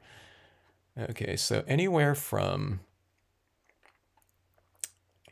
here down. Okay, that's I have a lot more um, leeway than I thought I might have. Okay, so let's go here. I tend to not I mean, I, I don't think it'd be bad, but I tend to not put text on that upper area I mean, that this if you're just doing this card, I mean, that text right here would be awesome. But since this is a mirror card, I tend to not put the um, text on that top portion because it would read um, wrong in the reflected area. So there we go right there. And there's what that looks like right there. See that? I, I think this is like the one of the best parts of the mirror card is that is text the ability of text down there and how that looks. I mean that to me that is just so much fun like that. Yeah. Okay, so that is that. Let's go with a couple elements down below. Um, hmm.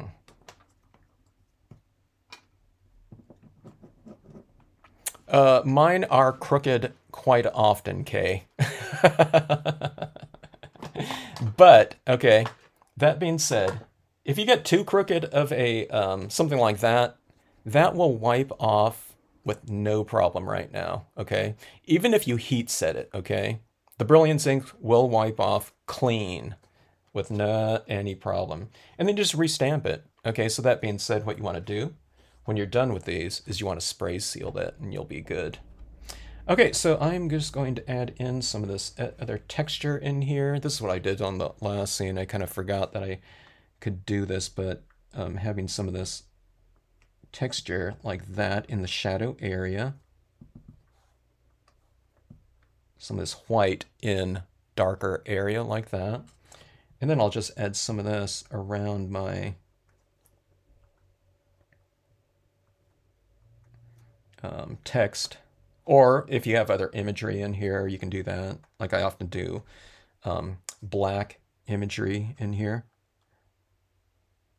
um, to frame off my uh, foreground areas. But I thought last time, I thought, eh, I think this would have looked better with just, um, I don't know, white or, you know, kind of going minimal down here. Okay, so I'm doing this, I'm ghosting it out to get these different um, values of this object like that. I might have went overboard, but then remember, I can just wipe it off, which I might have to do if it's just too crazy. Or you can do this, and maybe I should do this in black and white. Uh, let's see, that's way too much. It's a little bit too busy. So let's see here. Yeah, it's too busy down here. It's way too busy. So let's just do that thing where I was talking about. Let's edit. I always tell people, especially on something like this, or a lot of things, I'd rather people kind of go a little bit overboard or a lot overboard than to just kind of hold back, especially with colors and whatnot. If you're not certain you want to use something, then try it out. Um, you can always kind of um, blend things in or obscure it and, uh, you know, just readjust afterwards. And then you'll know more for the next time you do it. But that's always better than kind of holding out and to have pieces not reach their kind of full potential resolution. Um, yeah, you can emboss this too. I don't like embossing uh, too much on the foils I've found because I have to kind of hold the heat on the foil for a longer period of time. And uh, I get more of that curling happening. And with certain colors of the foil, it could um, it gives it that rainbow, which I've used um, strategically before, but just know that like with certain colors, if you keep that heat on there for too long, that metal will start to, you know, you'll get that little rainbow pattern. Okay, let's see this now. That's still a little bit too much. That's too busy down at the base right there. Um, but I am thinking about I'm thinking about adding in some black down here. I want let me see. I have a larger tiny rock stamp I used. I'm not sure where I put it. It's probably sitting right in front of my face, though. Ow. I don't know. I don't want to go looking for it right now. Unless it's just right here.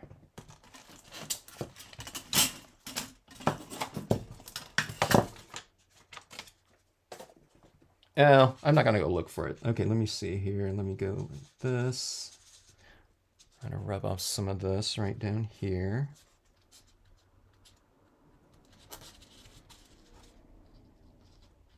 I went crazy on this one. Okay, let me see. Let me take that out like that.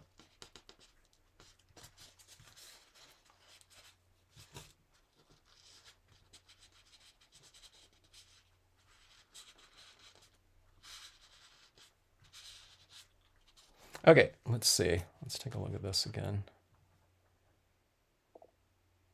It looks too much like a little, like uh, some cats walked through like some uh, baby powder and walked all over my piece. I want some of it down there, but not too much.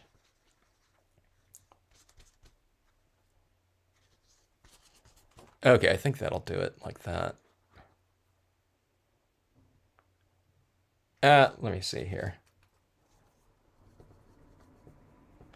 Let me do that. Let me put in a couple black impressions too.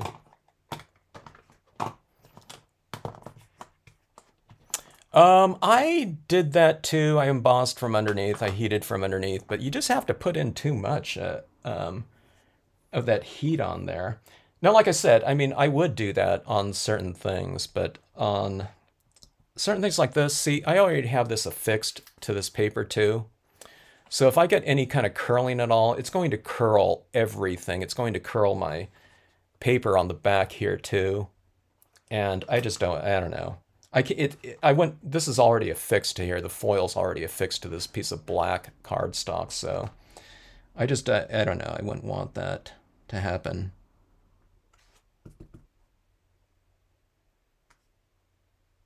It just, it took a little bit of time to emboss on there. It wouldn't be a bad idea though. I mean, can you imagine embossing this like in it might be interesting to do those embossing powders, though those, you know, that like those, um, what do you call those? The, the rainbow ones, you know, um, types of uh, powders. Those ones are really cool. Actually, this black right here is just what the doctor ordered right here. See this kind of integration of that black uh, down there as well. It's looking a little bit more balanced like that. Okay, so let's, yeah, see that like that? You can kind of see it like that, but then going over these ones like that. Okay, let's see.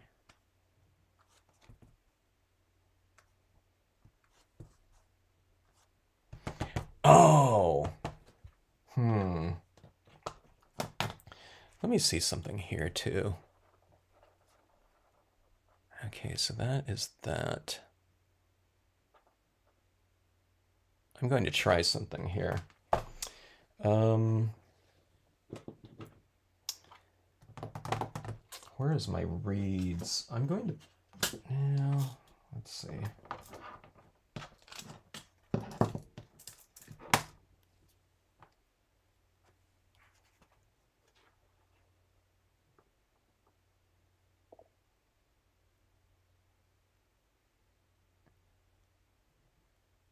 I'm assessing. Let's see. Okay.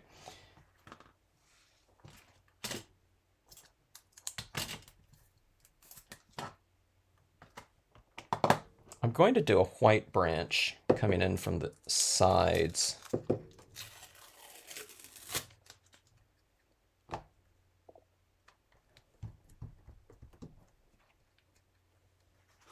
Like that, I think. All right, let's see if I can get a nice clean impression of this.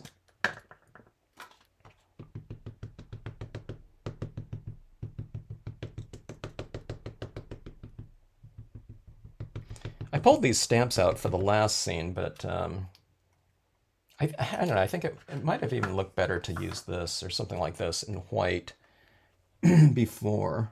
Okay, let's see. It looks like it'll flank that quote really nicely too.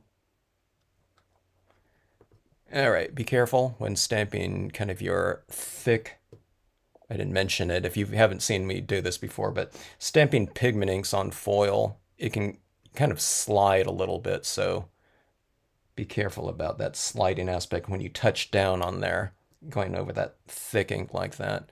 Hold to allow the ink to transfer a little bit. Go like that. And let's see that branch in there like so.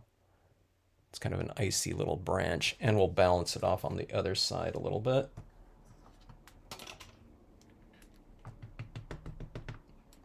It's not kind of arcing down, but, you know, so be it. I'll just put another little piece of it, like, let me see, let me go like this. Of it, a little, just a little touch of it coming in from this side.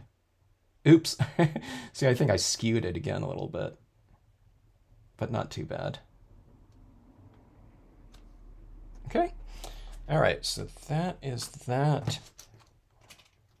Let's see what that looks like here. Oh, I don't know. I'm hoping it gives it a little bit more depth. So that's what that looks like down there. It's kind of interesting just as its own, in its uh, just on its own, but then when you couple it with the reflective kind of part of it up top like that. Oh, now here's another thing that I didn't do on here. I mean, you could. You can splatter paint this bottom portion too, you know, and put some of that texture down in here as well. And I, I've done that before and that looked pretty good, but I don't think I'll do that on this one. I think we've hit it enough with that texture of that, uh, with those impressions down there. So that's what that looks like, like that. So there's your mirror card in terms of a construction. Let's compare and contrast here. Okay, here's the one kind of a little bit more integrated like that. I don't know. I like that foil. What do you guys think? I think that foil looks pretty good. I might go for the, the foil version more. Like that. Let's see. But that's that right there. You see those little touches down here, you know? having those little things kind of on that water's surface, You get that parallax, though, going like this. You know, from that, things move a little bit differently. See that angle in there? And that's what I think is really fun. Look at that, look at that light going across that foil like that. It's almost like a northern lights type of thing, you know, going across the horizon like that. So, I don't know. Like I said before on these pieces, I think when you give a, someone a card like this, it becomes a little bit more interactive uh, in terms of the final product. And again, I think this looks like it's floating on, you know, kind of an icy surface like that. In in this case, you know, normally it, it re, you know represents like a pond or something of that sort. And remember things on these mirror cards too, the things that are closer to the horizon show up more like this up here. I mean, I can see that little bit right there, but the things up top there really don't reflect down here as much. So, you know, unless someone's like this, I don't think, but yeah. All right, so that is that. Um, foil in this piece, but look at that foil. Look at that reflective. Can you imagine if you do this like in a green or something like that? I'm not talking about this. It doesn't have to be this scene, but um, I think that'd be kind of cool.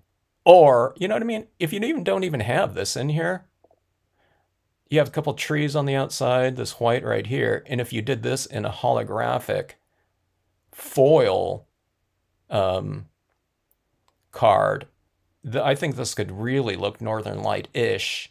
And then if you reflect that light in there like that and having it reflect down here, I think that would look pretty cool. I might have to do that one. So there's the the Recollections Rainbow Holographic um, paper. And that would be super easy to do. I, you know, you just kind of darken in some areas like that to give it kind of that curtainy type of feel. Or you just, you can also just leave it wide open. And I think that would be kind of interesting. So I don't know. So interesting things, you know, potentially with foils like that. And I mean, I think it looked cool just as is, but when you add that little ex extra element of that reflective nature of that, you know, it's kind of interesting. So send out a card to someone. See, here's the thing about this too. See all this right here. I'm going to have to trim all of this excess off of here, you know, just to make it flush. But, you know, that is kind of a fun opening. Like, look at that kind of that light already kind of reflecting out from underneath there. I think that sets out the anticipation level. Look at that right there.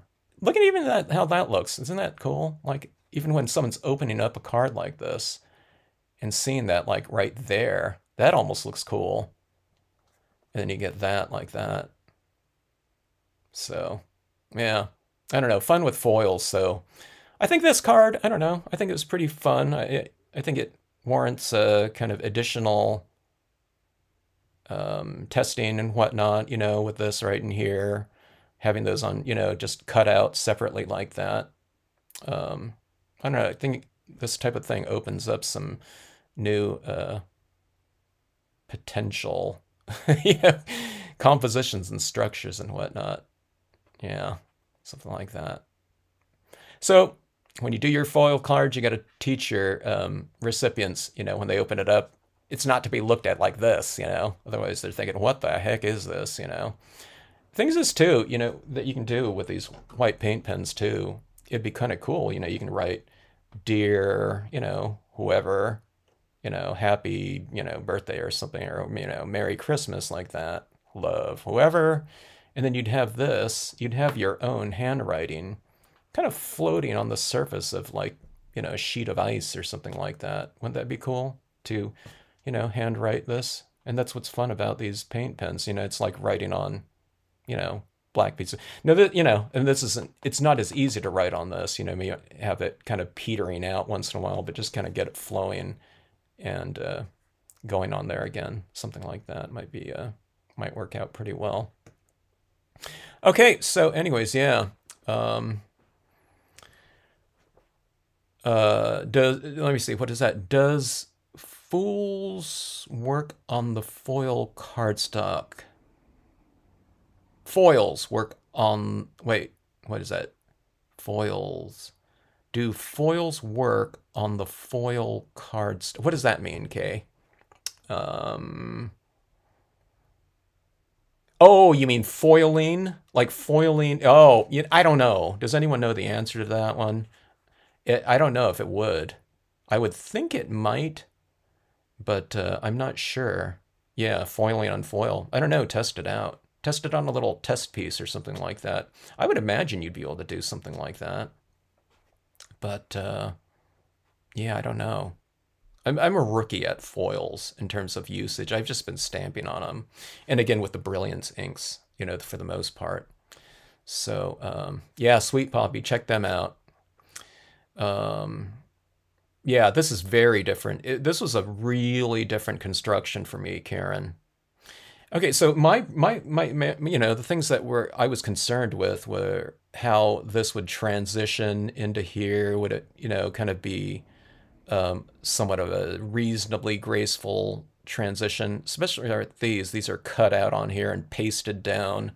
I don't really do that, but again, that really opens up some possibilities with, you know, the difference between these trees and that foil background. When you're working with such different surfaces together, you know, cutting them out like that really opens up the possibilities. I wouldn't want to cut out like certain types of images. You know, I'm not going to you know, stamp this out and then cut it out.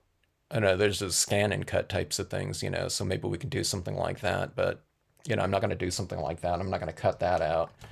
I'm not going to cut out, you know, something like this. there is no way I'm going to cut around all those little, you know, edges like that. But, you know, for the tree trunks, straight cuts like that, that barn was, you know, was easy to do you know, those types of images like that. Certain types of rocks, you know, are really smooth and easy to cut out. So, yeah. Sheila, thanks for uh, checking out the uh, the live. I'm, I'm glad you uh, you know uh, checked it out and you enjoyed it and whatnot. Um, like this one right here. This one was th- this is one that, in terms of my process, went. This is like the most for me I don't think this process was hard or anything like this. I just didn't know how it would turn out and integrate, and I wasn't wasn't exactly sure of my um, process in terms of the steps to do that. You know, like that's in back of that. This is over this. You know, should I add in the you know, should I color these up first and then, you know, paste them down? I didn't know. I think there were many different ways to do it, but um, yeah. Um, I don't know. I think it turned out okay, though. I really like the end result, especially with that foil being so reflective. It's nice having this. Here's the thing about the foils, okay? You can do this in a dark cardstock too, and that would be really great too. But look at this right here.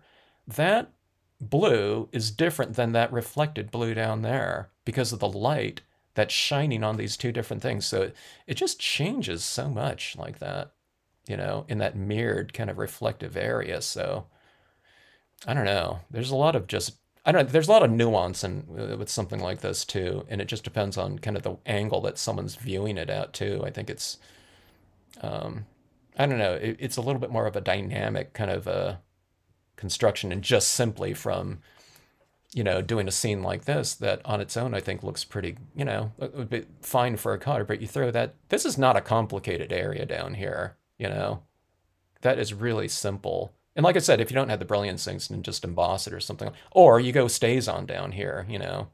Um, I haven't tried it yet. I keep saying I, I should really test it out here, but there's that StazOn white like this. So maybe just do StazOn down here, okay, in white and black. I didn't do any kind of blending down here at all. So this is just straight stamping down here. It's, all it is is just merging the two together, you know, to get that, you know, kind of look like that. So um, it's easy to do, and this is such an easy card construction like that.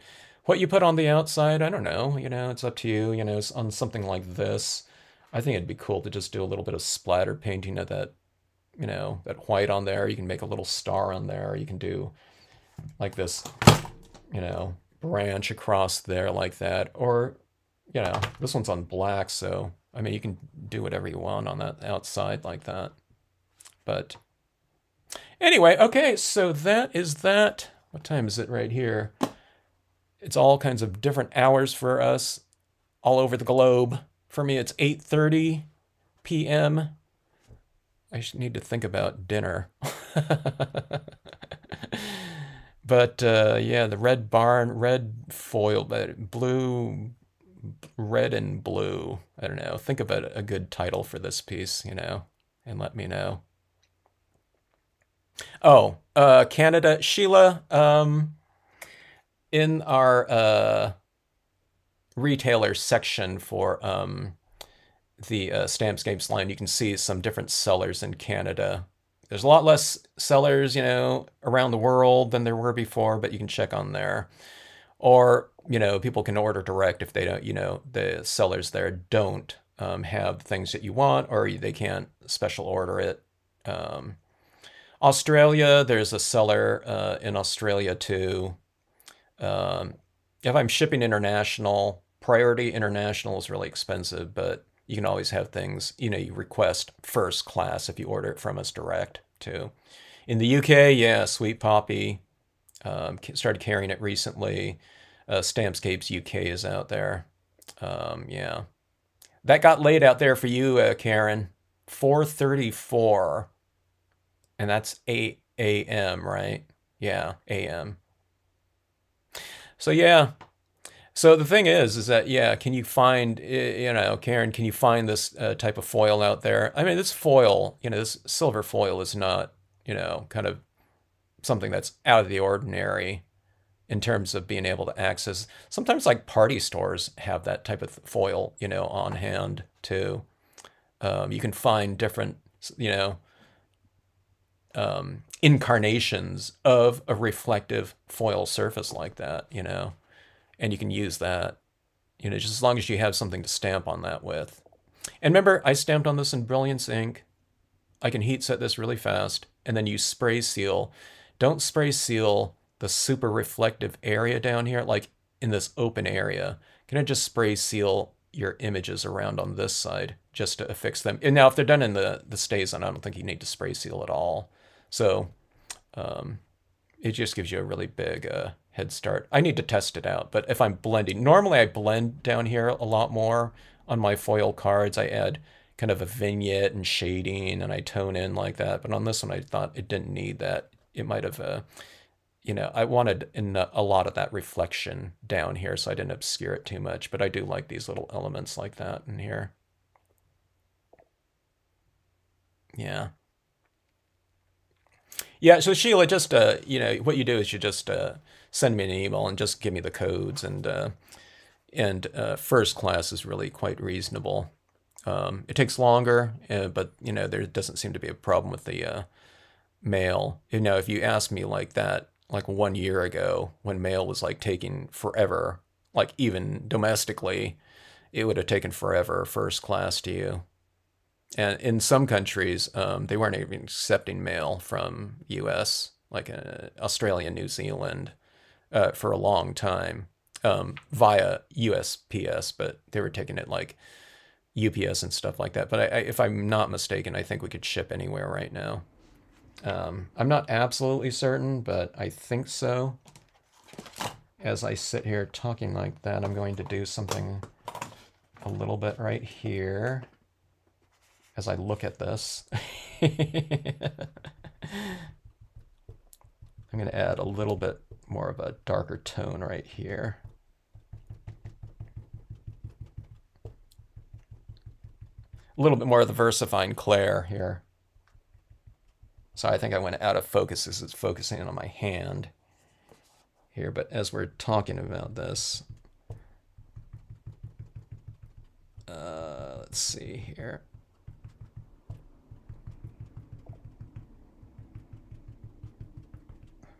All right, let's see how this looks here. So a little bit, of, yeah, how's that look like there? That looks better, huh? See this right here? I darken in that perimeter like that a little bit more. So it, you know, it kind of changed the light slightly.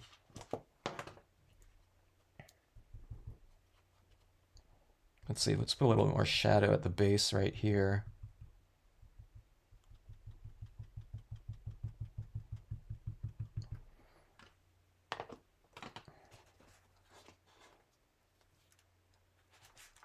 Yeah.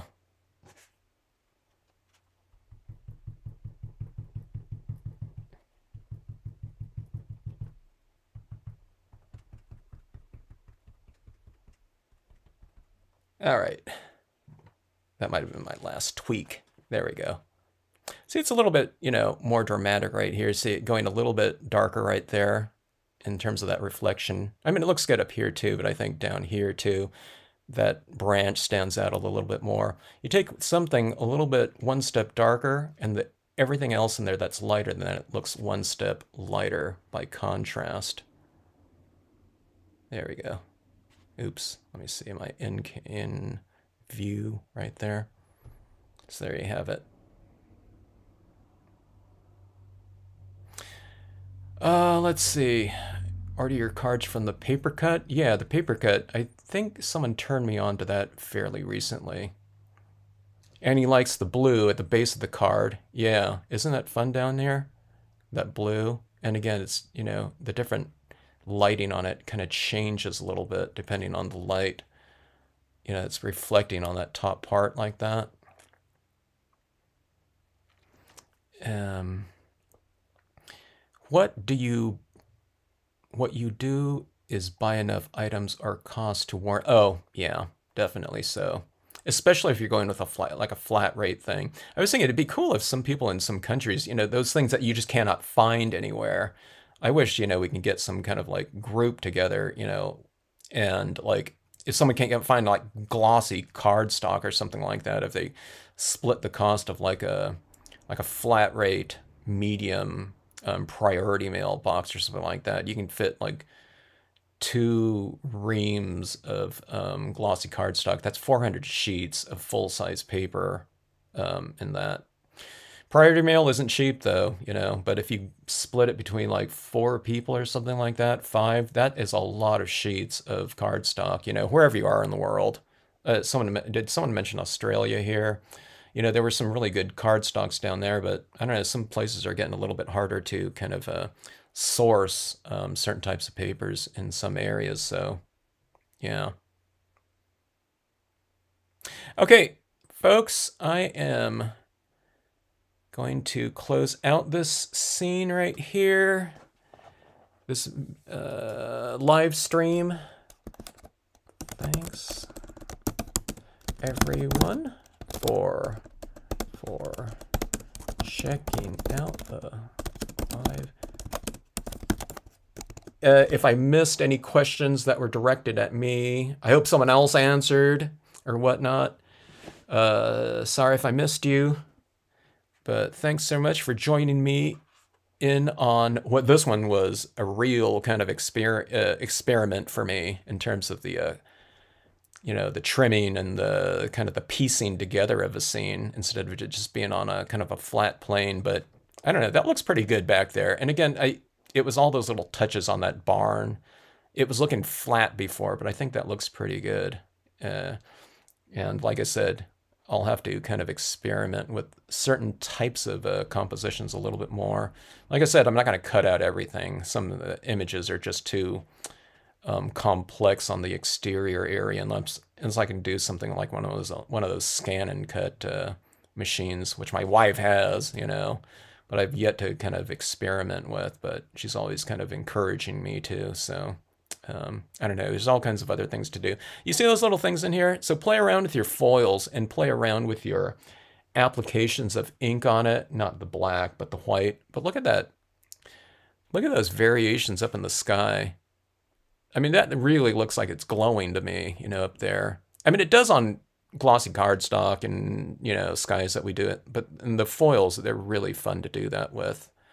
And it just, I don't know, you know, it's just a couple little taps like that, and you can really get a lot of vari textural variation up there. And it looks like, you know, little lights up there, I think. Okay, so anyway, uh, thanks, Jen, Annie, Karen, Christine, Kay, Cherry's Honey. We'll see you again on a future live stream. And uh, yeah, fun with foils. I don't know what I'll do. I'll move away from the red barn. You guys are sick of that one.